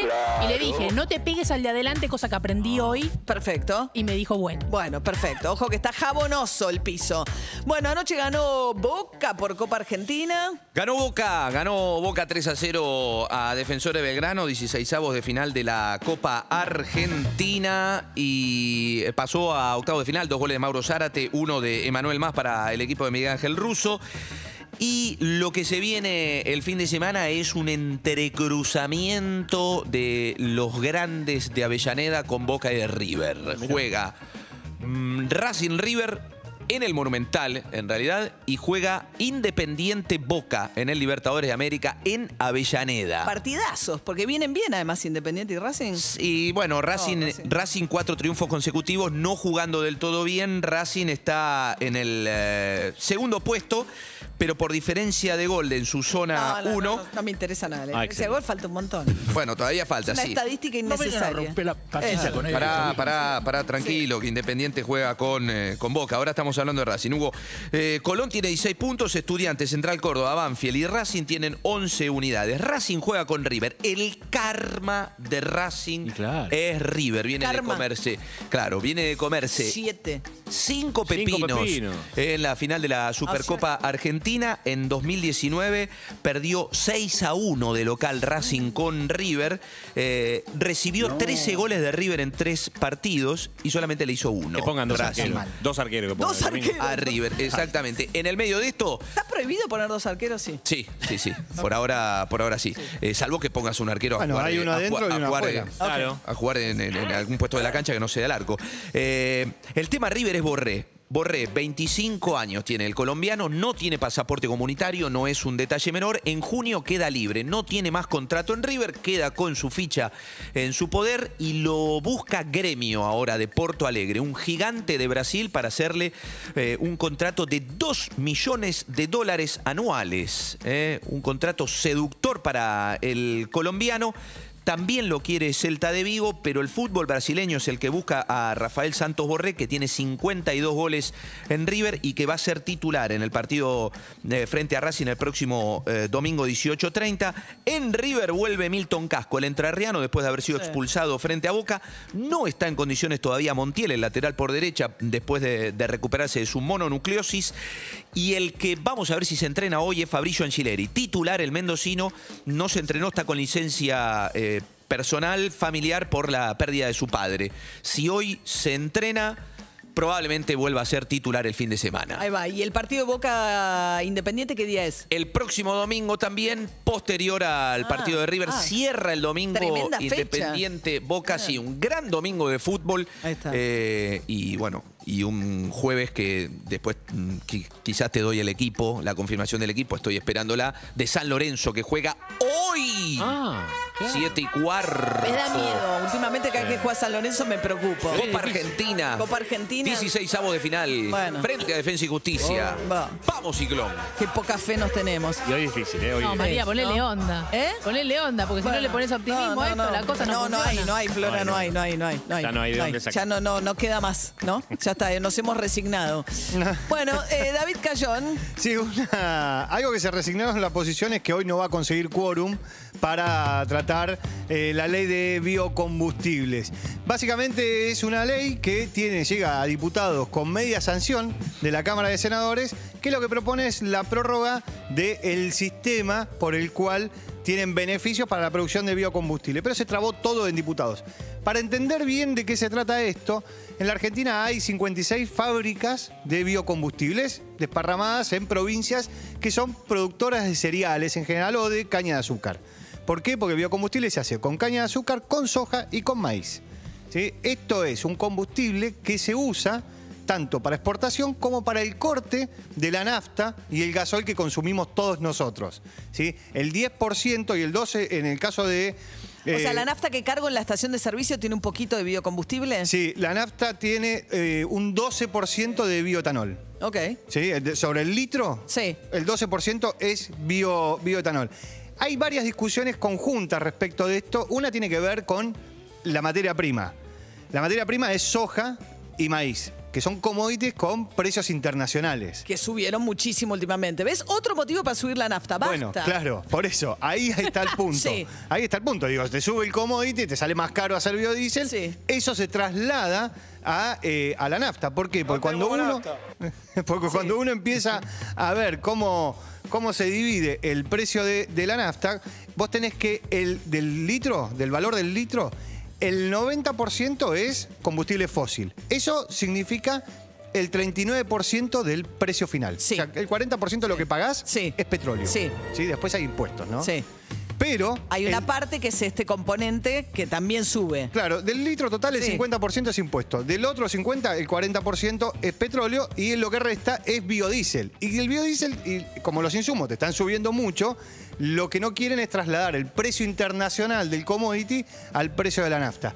Si esto sigue como está, te va a aumentar, obviamente, porque los commodities están aumentando. El problema es que hay un proyecto que está trabajando Máximo Kirchner, que nadie sabe muy bien cómo es. Y aparte la, la discusión está que viene con media sanción del Senado, donde... la madre. Claro, está De Cristina, Cristina Kirchner. Entonces nadie entiende muy bien por qué se frenó todo esto. Puede ser que estas manos hayan tenido un joystick de PlayStation. Pero claro, Ah, sí, claro, Máximo. Pero lo que no entiende nadie es por qué vos le frenaste el, El- el proyecto que viene de eh, Senado, donde tu mamá es quien eh, digita buena parte de todo. Bien, gracias. De nada, Cristina. Pero eh, lo que sí hoy no se va a tratar, eh, va a quedar eh, parado, por lo menos hay que esperar una semana más, porque el sábado, cuando haya sesión, va a ser ganancias Y monotributo. y monotributo. Lo que pasa ahí es interesante, ¿no? Porque empiezan a tallar también intereses que no, no son lo partidario, sino No. que las provincias productoras y se cruzan de distintas maneras para establecer cómo es el nuevo régimen de biocombustibles en Argentina. Bueno, ayer Cristina Fernández de Kirchner en el acto en Flores le dijo, en Las Flores, no en Flores, sino en la localidad de Las Flores, le dijo Otario, que se hacía el Otario a Mauricio Macri y le repartió también de paso a Patricia Bull- Bullrich, la presidenta del PRO. Cuando terminó la dictadura militar, terminaron más ricos que cuando había empezado, porque además nos dejaron a los argentinos y a las argentinas el regalo de la estatización de la deuda externa. ¿sí? Eh, Esto es sobre el grupo Macri, al que le dijo que se hacían los otarios. ¿Pero qué dijo sobre Patricia Bullrich? Los 4 de julio van a la embajada a festejar la independencia de Estados Unidos, claro. Alguna vestida de vaquera, inclusive, parece Jessie. Pero no, Jessie, la de Toy Story 4 es mucho más simpática. Sí, no, tengo la Jessie, la tiene mi nieta y nada que ver. Este es un, es un mamarracho al lado de eso. No, no, no, olvídense. Fuerte. Se dio cuenta que Jessie es un personaje simpático, María. Jessie la conocemos en la Toy Story 2, 3 y 4. Es la vaquera, la cowboy, que estaba en un programa con Woody. Se conocen, ahí se conocen con, con el eh, oloroso Pete y también con el caballito. No sé si recuerdan. Ahí está. Ah. ¿Te acordás que era como muy energética ella? Es verdad que Patricia Burrich, lo que pasa es que hubo, me parece que hubo una de las celebraciones del 4 de julio que tuvo que ver con una fiesta medio country y ella Sí. fue vestida. Sí, fue con el sombrerito, el con chalequito. sombrerito y el chalequito. Le gusta a Patricia. este, Patricia ve un disfraz y se tira de cabeza. Ahí está. Ahora, ¿qué contestó Patricia Burrich a, esta- a esto que dijo Cristina Kirchner? Yo soy Jessica la vaquera de Toy Story, que también lo tienen mis nietos, ella es eh, maléfica, ¿no? La emperatriz del mal. Así Bueno, que bueno. podemos hacer un juego de, de personajes. Eh, yo ese día estaba vestida de gaucha, como me he visto siempre cada vez que voy a un lugar en el que uno tiene que ponerse un traje de gaucho. Gaucho, estaba vestida de gaucha, ¿no? De- Fue tendencia maléfica, eh, fue tendencia maléfica porque en realidad la verdad que maléfica, si bien tiene su nombre, maléfica es como la, la bruja mala, entre comillas, de la Bella Durmiente, es la que le da el conjuro, ¿de verdad? Le dice, vos te vas, vas a dormir hasta los 16 años, a los 16 años te va a despertar el amor verdadero, es lo que le dicen las, las hadas buenas. Maléfica es una hada mala en un principio, pero cuando vemos la historia, en realidad es la que protege a esa Bella Durmiente, Ah. eh, porque las otras hadas este, no Ah. hacen bien su trabajo. No es tan mala, es- Maléfica. en realidad es- está herida porque el rey la, este, la traicionó. Entonces ella se vuelve mala. eh, sin embargo, al hij- a la hija del rey, que es Aurora, que es la bella durmiente, la termina protegiendo Maléfica. Es un. es lindo, es Me salió mal el insulto, tal vez. Bueno, Eh, igual estuvo crocante. ¿eh? Eh, estu- estuve pensando que hay más, hay más políticos y políticas que tienen eh, esta apariencia de eh, superhéroes y personajes de, de dibujo animado. Sí. Por ejemplo, esta es un clásico, la reta al guasón, viste que ya tiene la boca de nacimiento. Sí, sí, sí, la reta guasón, sí. La reta al guasón, después tenés a Bernie, que es Brutus, el forzudo que le pega a Popeye, viste No. que va dando cabezazo. No. Eh, va y lo sigue a Popeye, cabezazo a Tremendo. Popeye. Después tenés a Macri, el bello durmiente. Ah, ah, ah. ¿Eh? Después tenés Esteban Bullrich Frozen, porque viste que se queda congelado en el Zoom y resulta que se queda congelado. Y el último, escucha, escucha Ari, A ver. Santi Cafiero Aquaman. ¿Pero por, qué? qué? tiene que ver? ¿Por qué nada? Lo quiero ver mojado saliendo del agua. Desnudo. ¿Qué me importa?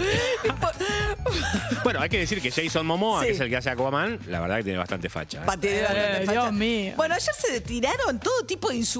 Este, Otario le dijo Cristina Kirchner también a Macri y eh, Hugo Moyano sobre Macri.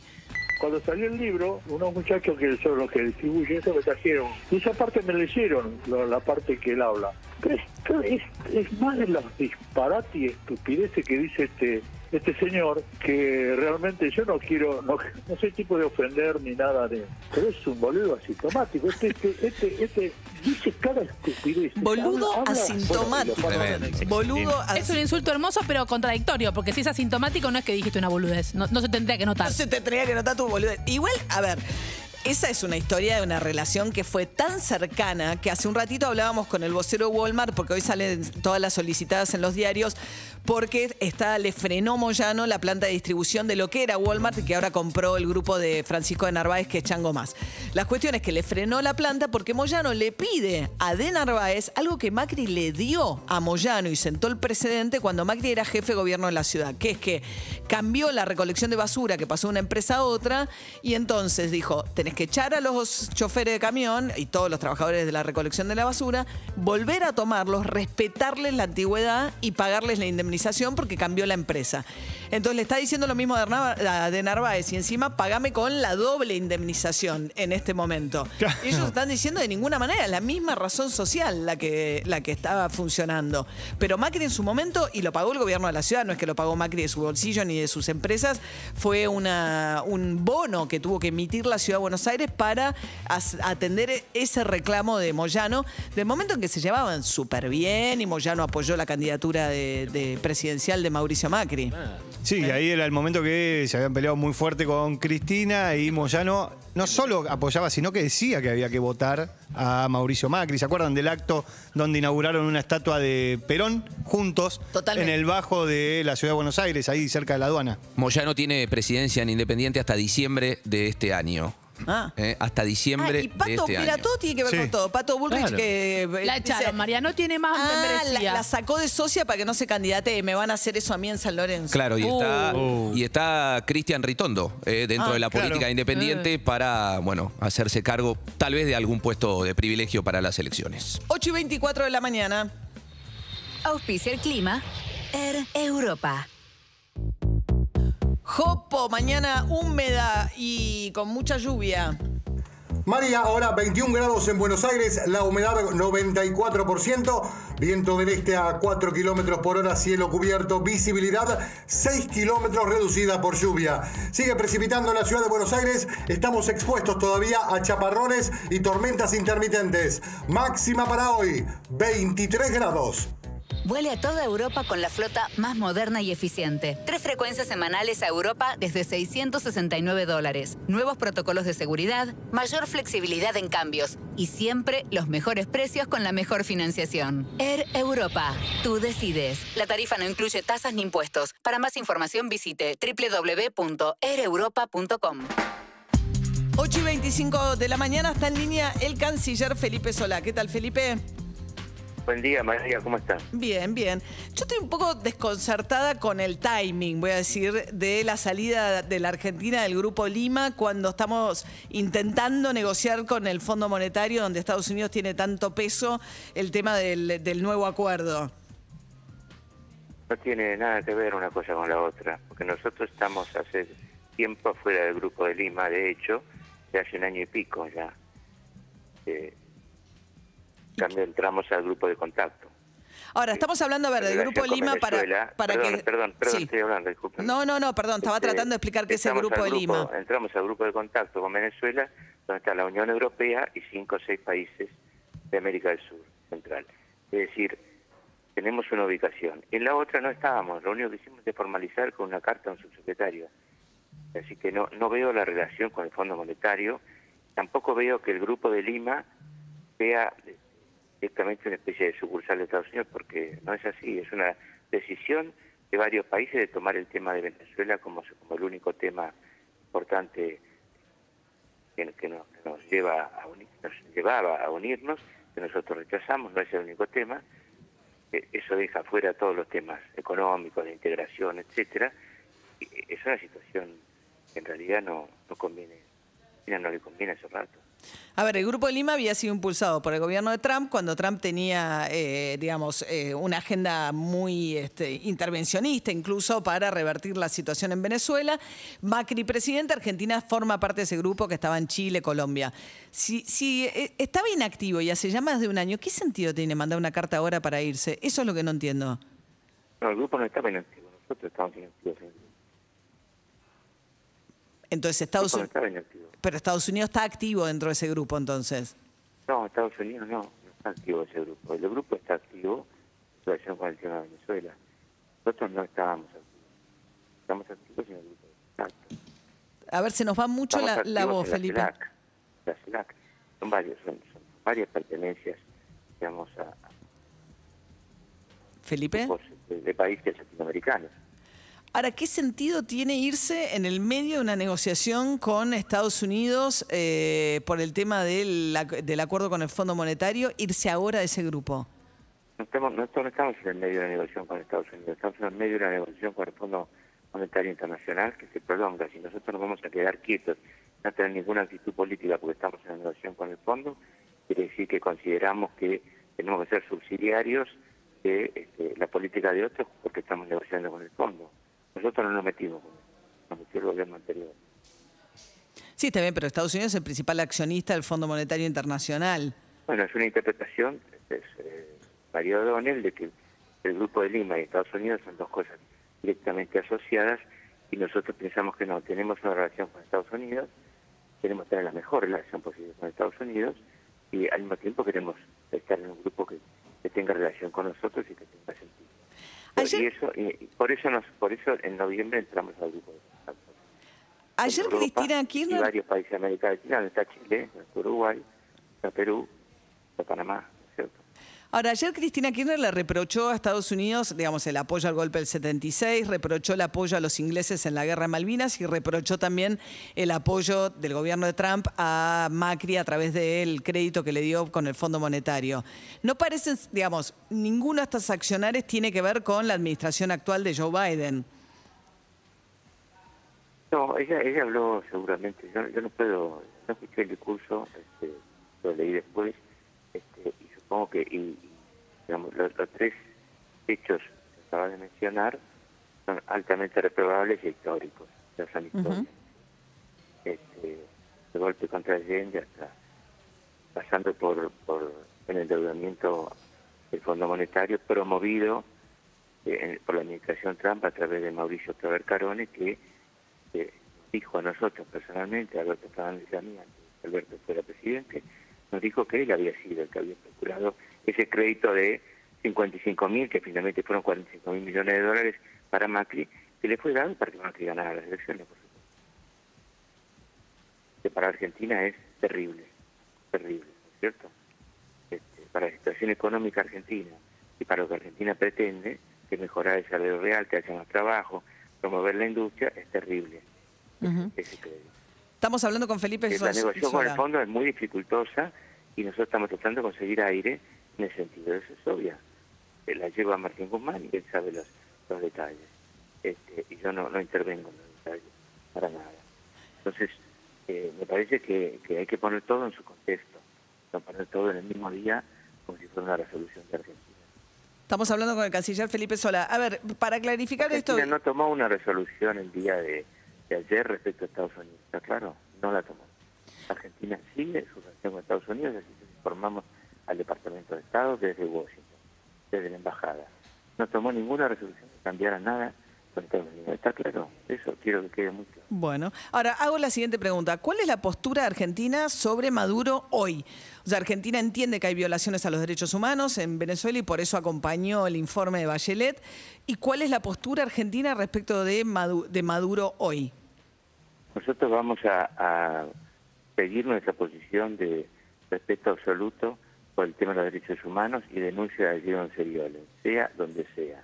Lo hemos hecho en Ginebra en octubre pasado, lo hemos hecho hace poco, hace 36 horas, el martes, este, en Ginebra de nuevo, en el caso de Nicaragua.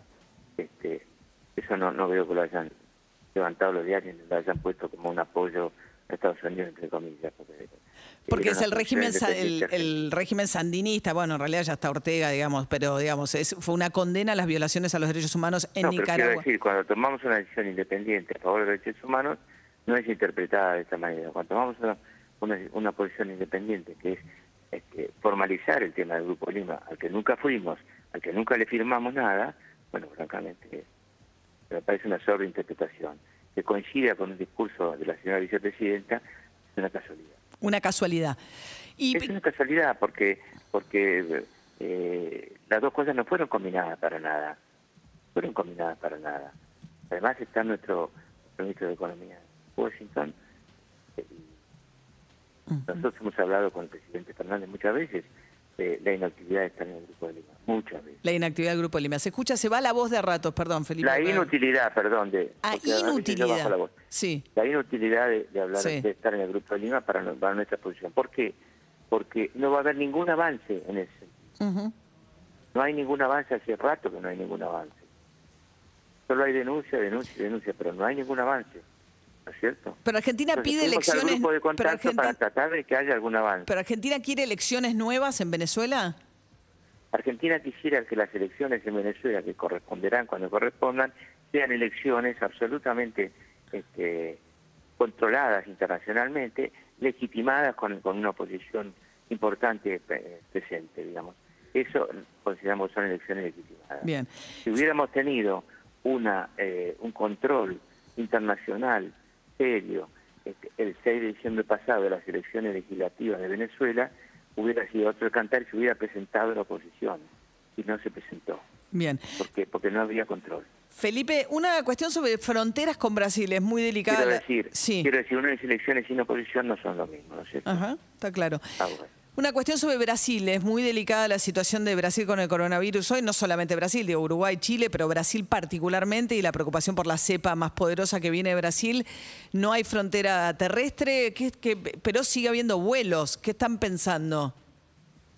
Bueno, los vuelos están llegan a un solo lugar que es el 6, ahí está controlado el 6, ahí hay una disposición este, del gobierno sobre los argentinos o residentes que vienen. Los extranjeros no pueden entrar.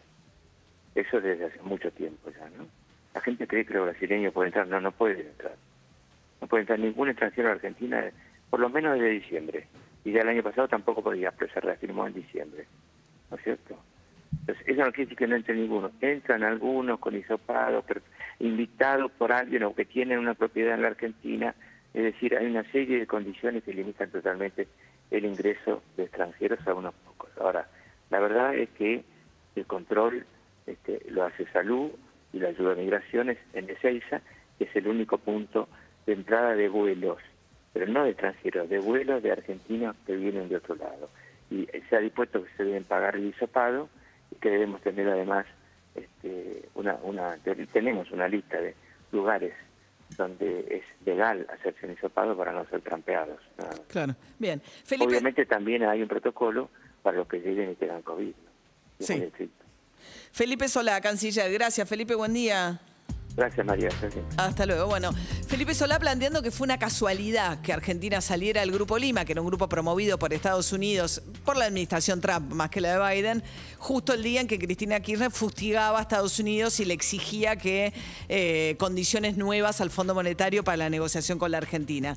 Y dice que interpretarlo como todo parte de lo mismo, dice, es una sobreinterpretación. Dice, son cosas independientes. Dice, yo ni siquiera sabía. Lo cual también habla de, digamos, me parece que habla de que el gobierno no sabe muchas veces, o Alberto Fernández, qué va a hacer Cristina Fernández de Kirchner, ¿no? Sí, en esta cuestión del loteo que tiene el gobierno entre las tres fuerzas políticas que lo componen, digo, el, el kirchnerismo, el albertismo, si es que existe el albertismo, y el masismo, digo, a veces ahí como cada uno va por su lado. Sí, y a veces suceden juntas cosas que Felipe Solá dice no estaban para que fueran juntas, ¿no? 6 y 36 de esta mañana, lluviosa en la ciudad de Buenos Aires. Esto es Coldplay, Paradise. Hasta la media tarde va a persistir la lluvia, dice Jopo. Mañana va a seguir lloviendo, pero amaina media tarde. Mucha humedad a lo largo de toda la jornada. 23 la máxima para hoy. Mañana también estamos en estos días grises y húmedos.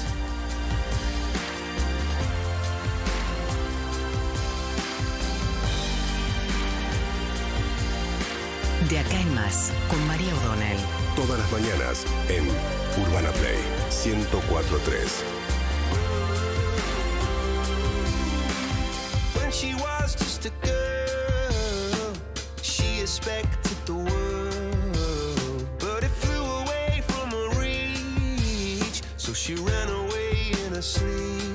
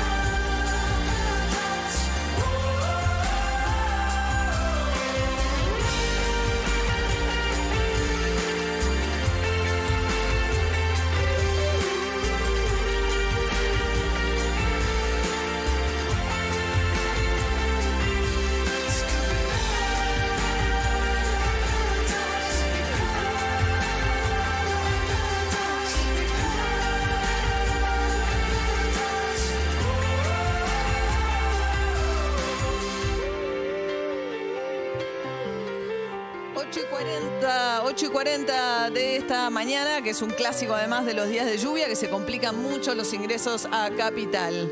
La Cardeus es el colchón que está a la vanguardia del mejor descanso, porque nuestra calidad supera la realidad y te invita a soñar. Somos los mejores en sueño, por eso presentamos el estado del tránsito, para que no se te convierta en una pesadilla. La Cardeus es tradición de calidad. Ahí va, nos amplía la información Diego Fernández. Diego. María, para que no se te convierta en una pesadilla, salí con tiempo porque la Panamericana está totalmente frenada. Desde la unión de los ramales de Pilar y Campana, kilómetro 32 a paso de hombre hasta el kilómetro 20 en la zona de Márquez, todo por caudal vehicular y por la intensa lluvia, mientras que sobre el acceso este persiste también el embotellamiento a lo largo de 10 kilómetros hasta llegar a la avenida General Paz. Mientras tanto, en la General Paz hay marcha lenta desde el acceso este sentido al Río de la Plata. Los trenes Roca, ramales eléctricos y el Belgrano Sur operan con demora. Anticipamos María a las 12, concentración en Paseo Colón al 100 frente a la Secretaría de Energía de la Nación. Trabajadores de la distribución de la energía con camiones van a ingresar desde el sur, María, por Autopista La Plata, Buenos Aires, 9 de julio, Corrientes, Diagonal Norte, Plaza de Mayo, hasta Paseo Colón al 100. Otra columna lo va a hacer por el puente Pueyrredón y la autopista 9 de Julio Sur y la avenida Corrientes hacia el Bajo y la ala oeste con camiones. epa. Van a ingresar por autopista 25 de mayo, 9 de julio, doblan en el obelisco por Corrientes hacia Wow. Paseo Colón. Muy bien, así que un día complicadísimo. Tomen nota de toda la información que nos da Diego. Diego, gracias. Te mando un beso. Beso grande. Hasta luego. La Cardeus Colchones y Somiers presentó el estado del tránsito. La Cardeus es el colchón que está a la vanguardia del mejor descanso. La Cardeus, tradición de calidad. Bueno, y vamos a charlar unos minutitos porque sé que no tiene mucho tiempo, pero a raíz de la entrevista que hizo con la mamá de M, la nenita que fue secuestrada eh, y encontrada afortunadamente después en Luján, contando la mamá de M sus adicciones al Paco, pero tiene que ver con un programa que está llevando adelante Gastón Pols, que es el que está en línea, que se llama Seres Libres y que habla con mucha franqueza, me parece, de la situación de adicciones. Un programa que sale en crónica los lunes a las 10 de la noche y que me parece súper interesante. ¿Cómo estás, Gastón? María, ¿cómo te va? ¿Cómo andás? Bien, ¿y vos? Bien, todo bien.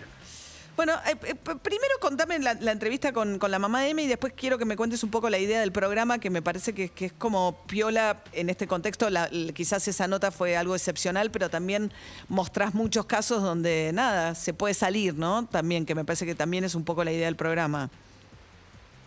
Sí, bueno, la idea del programa es eh, transversal. En ese sentido, la charla es transversal. Porque esto Es mostrar, demostrarnos. Lamentablemente, la adicción es una enfermedad que está golpeando a todos, sectores sociales, económicos, eh, intelectuales, espirituales. O sea, no, no, queda nadie afuera. Acá le pega de la misma manera finalmente al adicto rico que al pobre, al rubio, al, al morocho, al judío y al católico.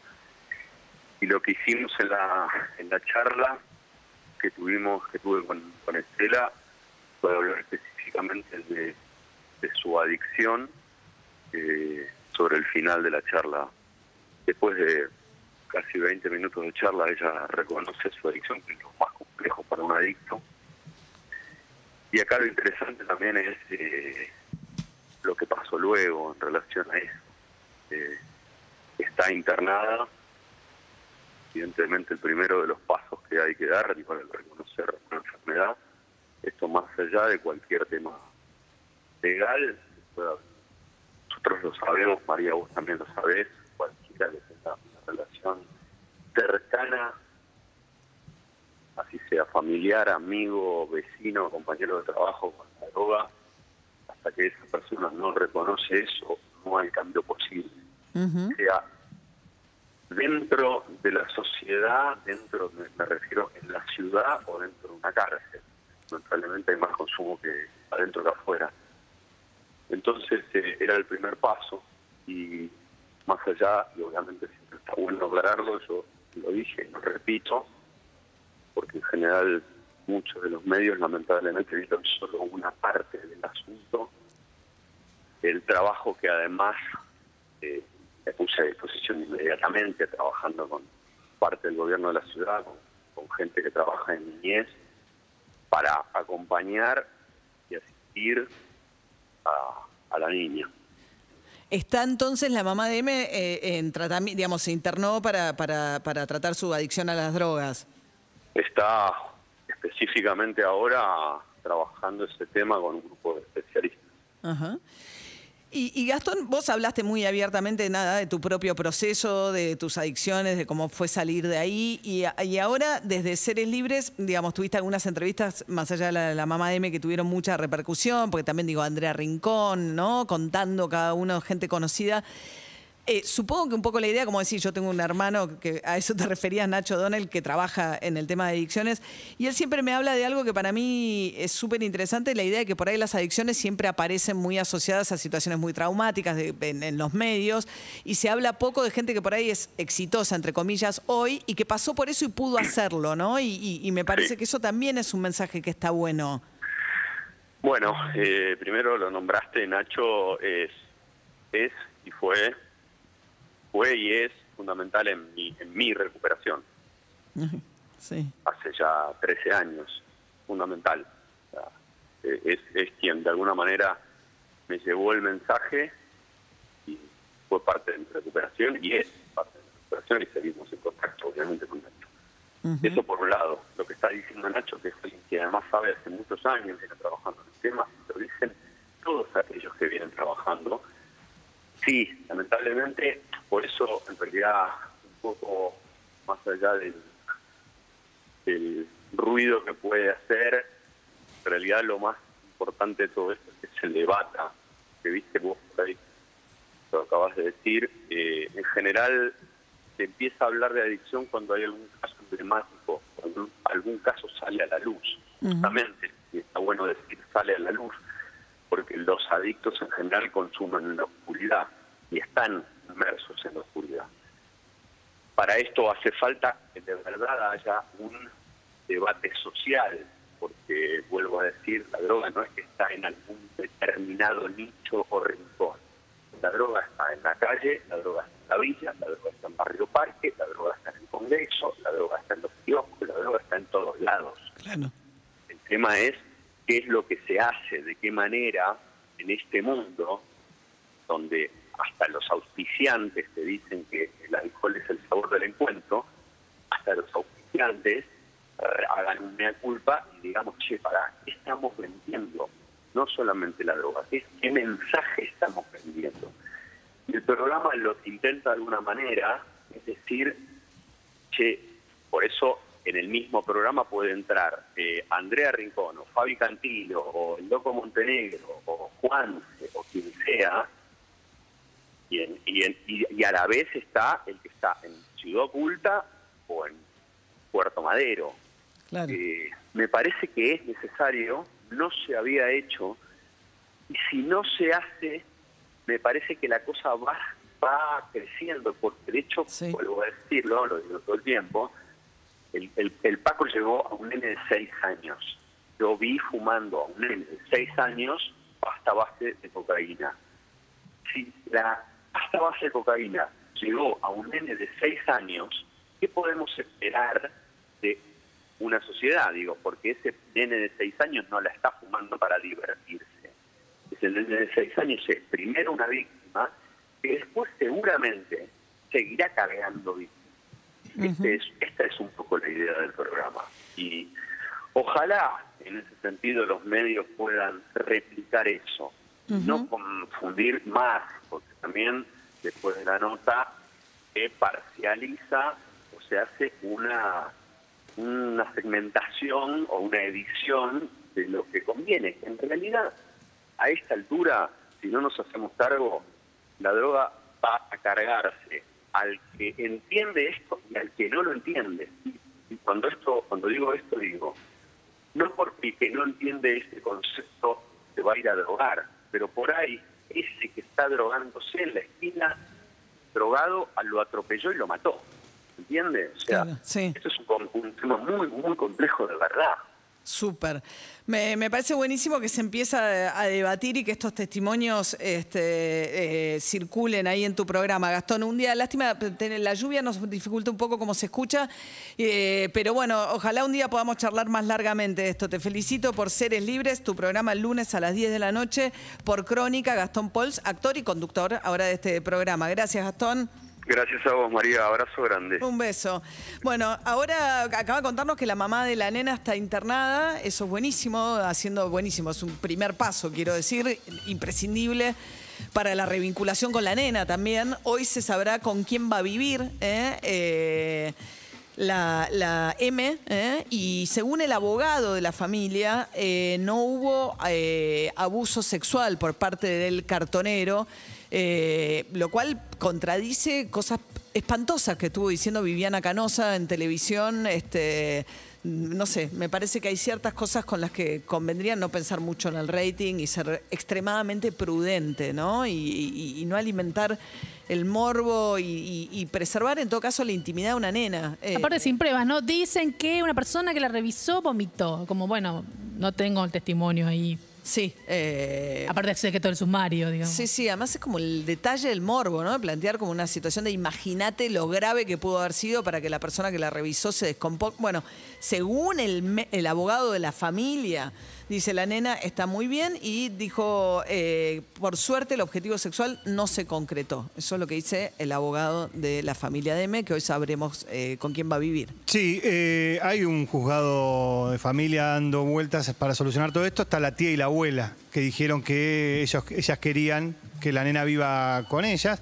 Después está el, el problema habitacional, digo, que sigue, que subsiste, más allá de si la mamá está institucionalizada y si la nena va a vivir con eh, la tía o la abuela. O la en algún momento va a volver a vivir con su mamá, que no tienen un lugar donde vivir. Claro, el tema es que tenga documentación, acceso a la asignación universal por hijo y sobre todo que se escolarice además, porque Claro. la nena está totalmente fuera del sistema.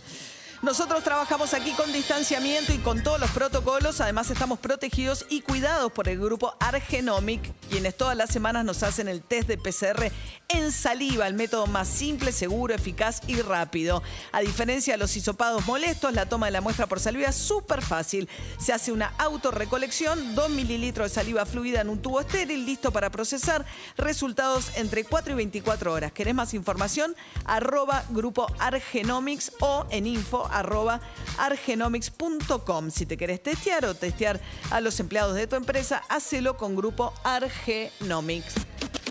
Siete minutos para las 9 de la mañana de este día jueves lluvioso, jueves de estrenos. Sí, tenemos el estreno más esperado, te diría María, pero, pero, pero, ¿Qué? pero hay con poquitas barbitas. ¿Qué pasó? Godzilla. Muy malo de barbitas. No, no, pero escúchame, María. Godzilla versus Kong. Te- ¿Cuánto te llama la atención? Cero. Excelente. perfecto. Prefiero ir a ver el documental de Isabel Perón a cinear. Pero en serio lo digo, no como un No, ironía. no, esto es cierto. O Debe el ser agua documental de bendita que Marcos Perón, López. Evita y Néstor nos tiran desde el cielo. Agua bendita. Agua bendita. Ahí está. Bueno, era una película muy pero muy esperada, sobre todo de los que le gustan los, este, las películas de monstruos, las películas de enfrentamientos de, de monstruos. Godzilla, te recuerdo María, eh, tiene más de 34 películas en su lomo. Eh, empezó, si mal no recuerdo, en el 54, la primera película de, de- de Godzilla, que tenía que ver con una película japonesa que era una representación de lo que hicieron las bombas en Hiroshima y Nagasaki en la Segunda Guerra Mundial, ¿no? Así nace Godzilla. No es malo eh, ese bicho. De hecho, después se convierte en este, salvador de la humanidad. Y Kong, su primera película en el año 30. O sea, son dos monstruos emblemáticos que ahora, llevados al cine de los pochoclos, los efectos especiales, eh, hicieron una película que básicamente vale la pena en 15, 20 minutos. Después el resto es nada. Personajes intrascendentes, esperando todos que se enfrenten y que haya este, justamente eh, lluvia de pochoclos. Así Una que barbita. La película, sí, sí. eh, ¿Una? Una. Una. Una barbita, por eso, poquito. 15 minutos espectaculares que se han ganado una barbita. Después, pero du- el problema es que dura una hora 15. ¿Y a Mujer Maravilla le habías dado? Le habíamos dado dos. Dos. Bueno, un ¿Hay, poquito hay mejor. algo en el cine con barbas? En No. cartelera. No es el, El de la día, caja, María, el, de la que, el que te compra el nada. boleto es un señor de barba. No es el día para ir al cine, Que lamentablemente. elija la gente. Que elija la Sí, gente. sí, no hay que- nada, nada en la cartelera. Nada vale la tenga pena. barbas. Presten atención al Bafisi, este, que bueno, tiene algunas pantallas en, en- en varias sedes. Eso es lo que pueden encontrar. Ok. Cualquier película de Bafisi, cualquiera, así sea una de un este, pañuelito volando, va a ser mejor que God- Godzilla vs. Kong. Una porquería. Pañuelito volando, me encantó. No, Son tremendo. 45 minutos de un pañuelito volando. Me encantó. En Irán. Le pongo dos barbitas después de ver esta basura que es Las ideas que han sostenido hasta ahora son lamentables. Sí, Sí, bueno, bueno. digamos la verdad. Miguel. Cuidémosle el bolsillo a la gente. Ok, yo creo que este programa de esta noche tampoco va a ser muy eh, auspicioso, que es ver el partido de San Lorenzo por No, Copa Argentina. San Lorenzo por Copa Argentina, 16avos de final frente a Defensa y Justicia, cancha de Banfield. Hasta el 16 de final de la Copa Argentina me da miedo. Bueno, pero ojo, juega con con, def- confianza para vos. juega con Defensa y Justicia y va tercero en su zona, ¿no? No está jugando contra un equipo menor. No. Eh, te diría, te diría que San Lorenzo es punto y no Es banca hoy. Eh, seis- Vamos a quedar eliminados. no, no, 16avo no. eh, bueno, no, un poquito más de Es optimismo, un María. partido. un partido en cancha de Banfield. Pero y te elimina. O Se sea, eliminan, chau. Es como Boca ayer que ganó 3 a 0 Defensor de Belgrano y avanzó a, a octavo de final. Perdón, O sea, ¿no será que María dice esto porque es una cábala que vos decís, me va a ir No, no, mal, me va a ir no, no, mal? Lamentablemente, mayormente le está acertando aún con este panorama negativo, María. Así que, eh, eh, esperemos que, que cambie para el bien del hincha de San Lorenzo. Seis cambios hoy mete Dabove respecto cambios. del último partido que perdió frente al Aldo Civi. De no está reservando a los titulares. Mm, No, va mezclando, tratando de buscar el equipo, diría yo. Tebeki, Herrera, Donati, Braguieri, Pitón, Sí. el Torito Rodríguez, Jalil Elías, Juli Palacios, Ángel Romero y no Oscar. José Ramírez y Franco Di Santo, el mendocino, 7 y 10 de la tarde, María. eh, y el próximo partido, si lo pasa en octavo de final, Tigre o Independiente. El probable rival No, falta un montón del ciclón. eso, Falta, ganar hoy, entre, entre- entre otras cosas, ¿no? 11 68 61 1043. Chicos, Alejandro de Sarandí, acá donde yo cargo IPF 8690, la super. Y a 15 cuadras 8370. Mirá. Obvio, voy a cambiar de lugar, la misma super. Lo vendieron a Guanchope a Estados Unidos, así que la nafta va a aumentar. Cualquier Ah. excusa es válida. Estábamos hablando de todas las excusas para aumentar la nafta, ¿no? El barco que trabó el canal de Suez, Sí. Atenti, pues subió el barril Eh. del petróleo, ¿no? El biocombustible, claro, el componente Impacta. impacta porque suben los commodities y Eh, entonces. IPF que necesita hacer caja para poder invertir, entonces te sube Impacta. 5% ahora en abril. Guanchope Ávila, el cordobés número 9 de Boca, a préstamo a Minnesota con ¿Ah, sí? eh, supuesta obligación de compra en la Major League Soccer. eh, se va en estas horas rumbo a es Estados. Unidos. Upa, lo que subió fuerte fueron los materiales de la construcción. Yo no entiendo, porque no es mucho importado. No, no, no entiendo. Subió mucho, la verdad que subió mucho en un semestre, eh, contando los últimos seis meses, el costo de la construcción subió 54% en dólares.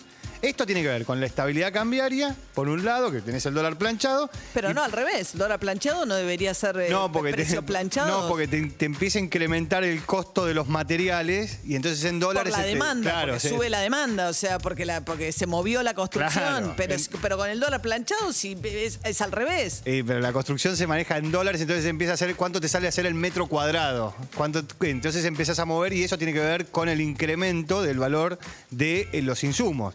Digo, para que se entienda, el vidrio, que tiene un componente ahí de dólar, eh, subió 10% en un mes. Solamente el vidrio. Te subió 10% en un mes. Mira, hacer un metro cuadrado, el promedio, ¿no? Te salía 600 en noviembre te salía 409 dólares. Hoy te sale 630 dólares. Hacer, construir un metro cuadrado el promedio en todo el país. Bien, desayunamos gracias a Biomarket, el primer supermercado orgánico de la ciudad. Puedes visitarlos en su lugar en Recoleta, Pueyrredón 2088, también online biomarket.com.ar. Encontrá todo lo que hay en un supermercado en su versión orgánica. Si es orgánico, está en Biomarket. Los puedes seguir en Instagram, arroba Biomarket Orgánico. Y con esta lluvia habrá llegado Lisi, que venía del... Llegó, llegó, sí, claro que está. Buen día, Lisi. Hola, buen día María, buen día chicos, buen día a todos, ¿cómo andan? Finalmente lo logré, me quedé con el programa. Tempranamente. Lo- muy Ay, rápidamente. ¿Lo desbarrancaste, Andy? Sí, sí, sí. Las cosas, se, las cosas se precipitaron, María. Pero se precipitaron muy rápido. Eh, Viste que a veces uno va haciendo un plan y el plan es como, bueno, en algún momento hacemos tal cosa, después de un momento las cosas se precipitan. Cuando aparece la ventana hay que agarrarla, es así. Ah, Tengo dos negocios para proponer. Uy, ya, Ah. cuidado, María. Uno es, ¿cuánto me pagan para que cuente por qué no viene Andy? Y otro es, ¿hasta y otro es yo poner una cifra para que no cuente porque me manda. Excelente. Claro, ella hace negocio de las dos maneras. O sea, vos lo que querés ver es si hay más gente interesada en que se cuente o más gente interesada en que no se cuente. Exacto. Y quién de los dos paga más, digamos. Claro, y que con lo que más plata me quedo, con eso me agarro. Claro, por supuesto. Y ahí podría contás. saber el por qué no. ¿Por qué no viene? ¿Cuánto te Bueno, ¿cuánto O sea, cuánto vos- ponemos? vos me tenés maestro. que pagar. ¿Cuánta? Yo tengo- claro. Porque si vos querés saber por qué no viene, me Claro. tenés que ofre- hacer una oferta. Ahora, oferta. Que no si vos querés ¿Qué que piso de yo oferta? no Y cuente, metemos- yo voy a decir Agarra, cuánto. agarra uno de los pibitos quiero. gamers esos que tenés ahí en el, el sótano jugando para vos y, y, y, y ¿Cuál es, el, para nosotros. ¿Cuál es el piso de la oferta, Alicia? El piso de la Para oferta. saber por qué no viene. Sí. No, eso es ustedes son una oferta, yo digo acepto o no. Ahora sí. No quieren que. Pero, Si ¿cuál es tu ustedes precio, quieren Lizzy? que no cuente, yo ya tengo el importe. Ah, Pero, pero para, para, para, porque hay un montón Ahí de información que nos está faltando. Eh, o sea, Lizzy se Cuidado, queda a cuidado. cargo del programa, ¿no? Sí. Por hoy, no Harry. En realidad, Harry, porque- Harry, No, yo tengo soy- pocas palabras. Yo soy un Ni soldado. bien llegamos, Soy un soldado de Alicia. cuando llegamos dijeron Harry conduce. Ah, te o sea, ya me vieron. No, pero yo Ni- soy, yo soy cámpora, ni lo María. sueñes. Yo soy cámpora, María. Y Andy, Andy hoy no viene. Y Andy hoy no viene. Ok. Tengo los mensajes, soy como Marina Calabro, los tengo desde el riñón de la familia. Viste que Marina dice, me llegó un mensaje de texto desde Sí. el riñón de la A familia. mí me encanta lo del riñón. Eso, María, la historia del el tema del uso del de, el riñón para hablar de la política. ¿Por qué el riñón? Si es un órgano que, o sea, de última, si perdés uno, tenés otro. Es verdad. O sea, alguien es del riñón del peronismo. Como Más importante es el corazón. Bueno, pero es un- Claro, es, un órgano clave para la desmenuzación. Muchas gracias. Ah, muy buena. palabra. Quería meter algo. Sí, no sé, no sabía qué decir sobre el riñón, pero me pareció lindo. No, pero No tengo idea. ¿Vos, David? No, no tengo idea. Pero porque... también se usa para los clubes, ¿no, Guido? Sí, o sea, sí, sí. riñón del club. Totalmente. Yo el riñón te filtra toda la medicación, Gracias. todo, toda la Gracias. porquería. Gracias. Lo que vos le metés al cuerpo. Claro, pero hay riñón otro, es eso es lo que digo. importante. O sea, si se va, hay otro. Claro. Es importante. Sí, pero con uno, viste que ya mucha sal no podés comer, empezás con algún bolonqui. Ah, sí. No tenía esa Guido, Guido investigación y hecha. Flora perdón. son los dos este, conocedores Sí. de temas médicos. Un de abrazo a todos los nefrólogos que se Ojo, prenden ojo con urbanos. María, ojo con María, porque María te empieza a preguntar y te saca el Eso te real, iba a te sabía todo. Mira lo que dijo ayer. Usaba la misma palabra de antes. Lo vine observando, lo vine observando y anota en un cuadernito. Anota. al igual Ay, hoy. Sí, conta, conta, conta. Perdón, quería saber. María, ¿vos nunca pensaste en ser profesora de la universidad o de algún lado? Di clases un tiempo en ¿En la serio? universidad. Lo haces bárbaro. Ay, gracias. Tendrías que hacer, porque hoy hablaron del canal de nuez, no sé qué. Eso es. Ah, de Suez. Ay, menos mal. Escuché- Es más difícil hacer lo que hace ella, de buscarle el error. No serías tan buena, María, parece. No, no, al contrario, mi amor, porque el tipo dijo, primero dijo, tipo ay, de David, decís. pasó, en el, pasó en el canal de Que hay un- que hay un Suez, barco gigante bloqueando el un barco que Sí. se quedó estancado Ajá. Y el 10% de los negocios pasan Bien. por ahí. Y yo Todos hasta ahí saben digo, eso. ¿qué habrá pasado? ¿Con el 10% es mucho o es poco? Buena pregunta. Bien. Pero después María redondeó y dijo, o sea, que la mayor, eh, la gran parte del comercio, y ahí entendí, Ahí ah, es mucho. Bien. Es un montón. Y que ahora la nafta seguramente suba por eso. No, Por este subió el comentario. barril del petróleo. Ayer esperemos Porque hay mucho que- petróleo. Hay mucho atasco, ¿viste? No, están los barcos que no pueden pasar. Eh, Sí, porque si no tienen que ir todo por, su- por África. Bien, tiene que ir hasta abajo, ¿viste? Rodear. África. Estoy Rodear África. Muy bien. gratamente. Y yo conté mi visita al canal de Panamá. Ah, ¿La sí que, sí, que resulta que los barcos vienen y como está el Océano Pacífico y el Océano Atlántico, como entonces eh, de repente te- se caen. Un poco más complejo que Se eso. cae. ¿Vos sabés qué, No, Mar- no dijo mi encanta profesora el María resumen O'Donnell. que hace, Liz. Dijo, Un tema de vos vas- las- dice, de las vos vas con mareas. el barco y de repente ¡pum! se cae. Pará, Entonces, igual- le tuvieron que poner unas máquinas para Sí. que empiece a bajar despacito Excelente para pasar del, del Océano Atlántico al Pacífico y del, Clarísimo. y del Pacífico al Atlántico. Como que Nunca sube nadie- el Pero como los barcos ahora son más grandes, Se encallan. Sí, eso. No, no, no, no, claro. Como total. siempre, María, la lógica de la acumulación eh, destruyendo ¿Viste? el sistema que con la vida que conocemos. No, que pero es que yo no sabía hasta que no visité el canal de Panamá que las alturas del Atlántico y del Pacífico son distintas. No sé por qué ah, uno asume que los océanos están todos a la misma altura. No, y aparte, o sea, yo obviamente de, de Eh. chico cuando me dijeron hay un canal en Panamá, no sé qué, yo me imaginé que alguien había agarrado, cavado un, un pozo tipo ahí, había dejado pasar agua de un lado para el otro y ahora pasaban barcos. Claro. Eh, Y también un poco pensás si son diferentes las alturas de un lado y del otro. Bueno, haz el pozo y que se equivalen, Pero que se equiparen. claro. No se puede. No, no se puede. Es como, equiparen. una- es como que meten a los barcos en, entre una, en una gran pileta, entre dos esclusas, y le van subiendo, bajando según a dónde va, si- según en qué dirección vayan. Ay, pero le estás tratando de explicar a Harry el trabajo de un ingeniero a un tipo que, se- que lo único que fue a estudiar es para sacarle el- a que la gente no puede dormir a la noche. Eso, y no te lo resuelvo eso. Es ¿eh? psicólogo. No, eso se resuelve con droga, eso no, no te lo resuelvo. No, no, apología. No, con droga legal. es- Ah, perdón, o sea, yo digo con droga y lo primero Lo que hace piensan tu ustedes es en superior, drogas. lo hace tu Claro. superior que es el psiquiatra. Claro, Superior exacto. tuyo. Con mi superior, Claro, exacto. Un médico, una persona que estudió muchos más años y que tiene una responsabilidad mucho más profunda. Exacto. Hoy nos toca hacer un programa entero con Harry. ¿Vos viste, Liz? ¿Te das cuenta? Y él está Cuatro enojado horas. con la vida. ¿Qué es lo mejor y lo peor que descubrieron de Harry hasta este momento? Ah, me encanta. Lo mejor es que. No, pero no Cuidado, puedo decir. cuidado. Uy, uy. Lo mejor es que te- tenemos, yo hablo por Eve también. No, no me incluyes en mis Sí, porque si vos me decís que sí, pero que no lo cuente nada más. No, pero no sé qué vas a decir. Ah, le hace que sigo en la cabeza. eh. sí, ella me dice sí, sí. Después me dice, pero no, No lo digas. cuentes, no lo cuentes, pero le hace que sigo en la cabeza. Dice, no lo digas a leer. Que nos, que nos calienta un poco. No, que no, ¿qué dice? Porque es eh, medio, No, me bajo. medio libre. Me bajo. Ah. Claro, porque tiene amor libre con Mira, su está pareja. coloradito. Sí, pero ya dijo que a nosotros no nos va a dar.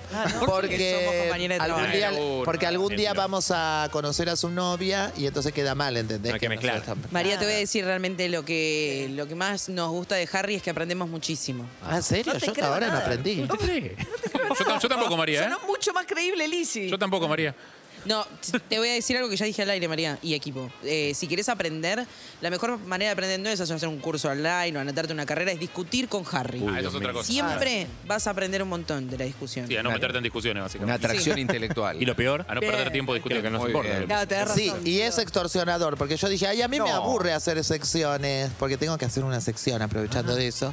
Estamos buscando con la producción hacer una sección, porque lo- soy la única que no tiene nada más que decir papada. Soy como la flora de esta mesa. Entonces, eh, todos los días me dicen, ¿se te ocurrió algo? Y yo digo, ay, sí, ya estoy pensando, pero lo que pasa, así desde que arrancamos. Tenés que traer una sección para vos. Una Claro. sección para mí, pero me aburro. ¿Tenés ideas ahí? ¿Cómo? ¿Tenés? O sea, me aburro de contar, ¿entendés?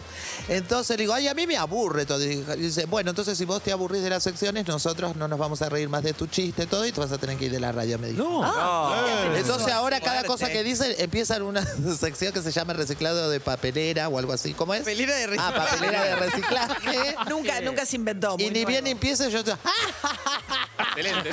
Excelente. Y así nos entendemos. Y así nos entendemos, está perfecto. Es Eh, medio torsionado. Tiene, eh, María Lizzy tiene como a, a tres productores y medio casi laburando para una sección para ella y se las bocha todo el tiempo. Le trae y dice, no, eso no quiero, Eso no, no eso quiero. no me interesa, no, eso me Bien. aburre, no, eso Bien. no es oh, dificilísimo. Está bien, ahora que va a conducir el programa, tiene que tener una sección a la altura de la, me- de la a mí- conductora.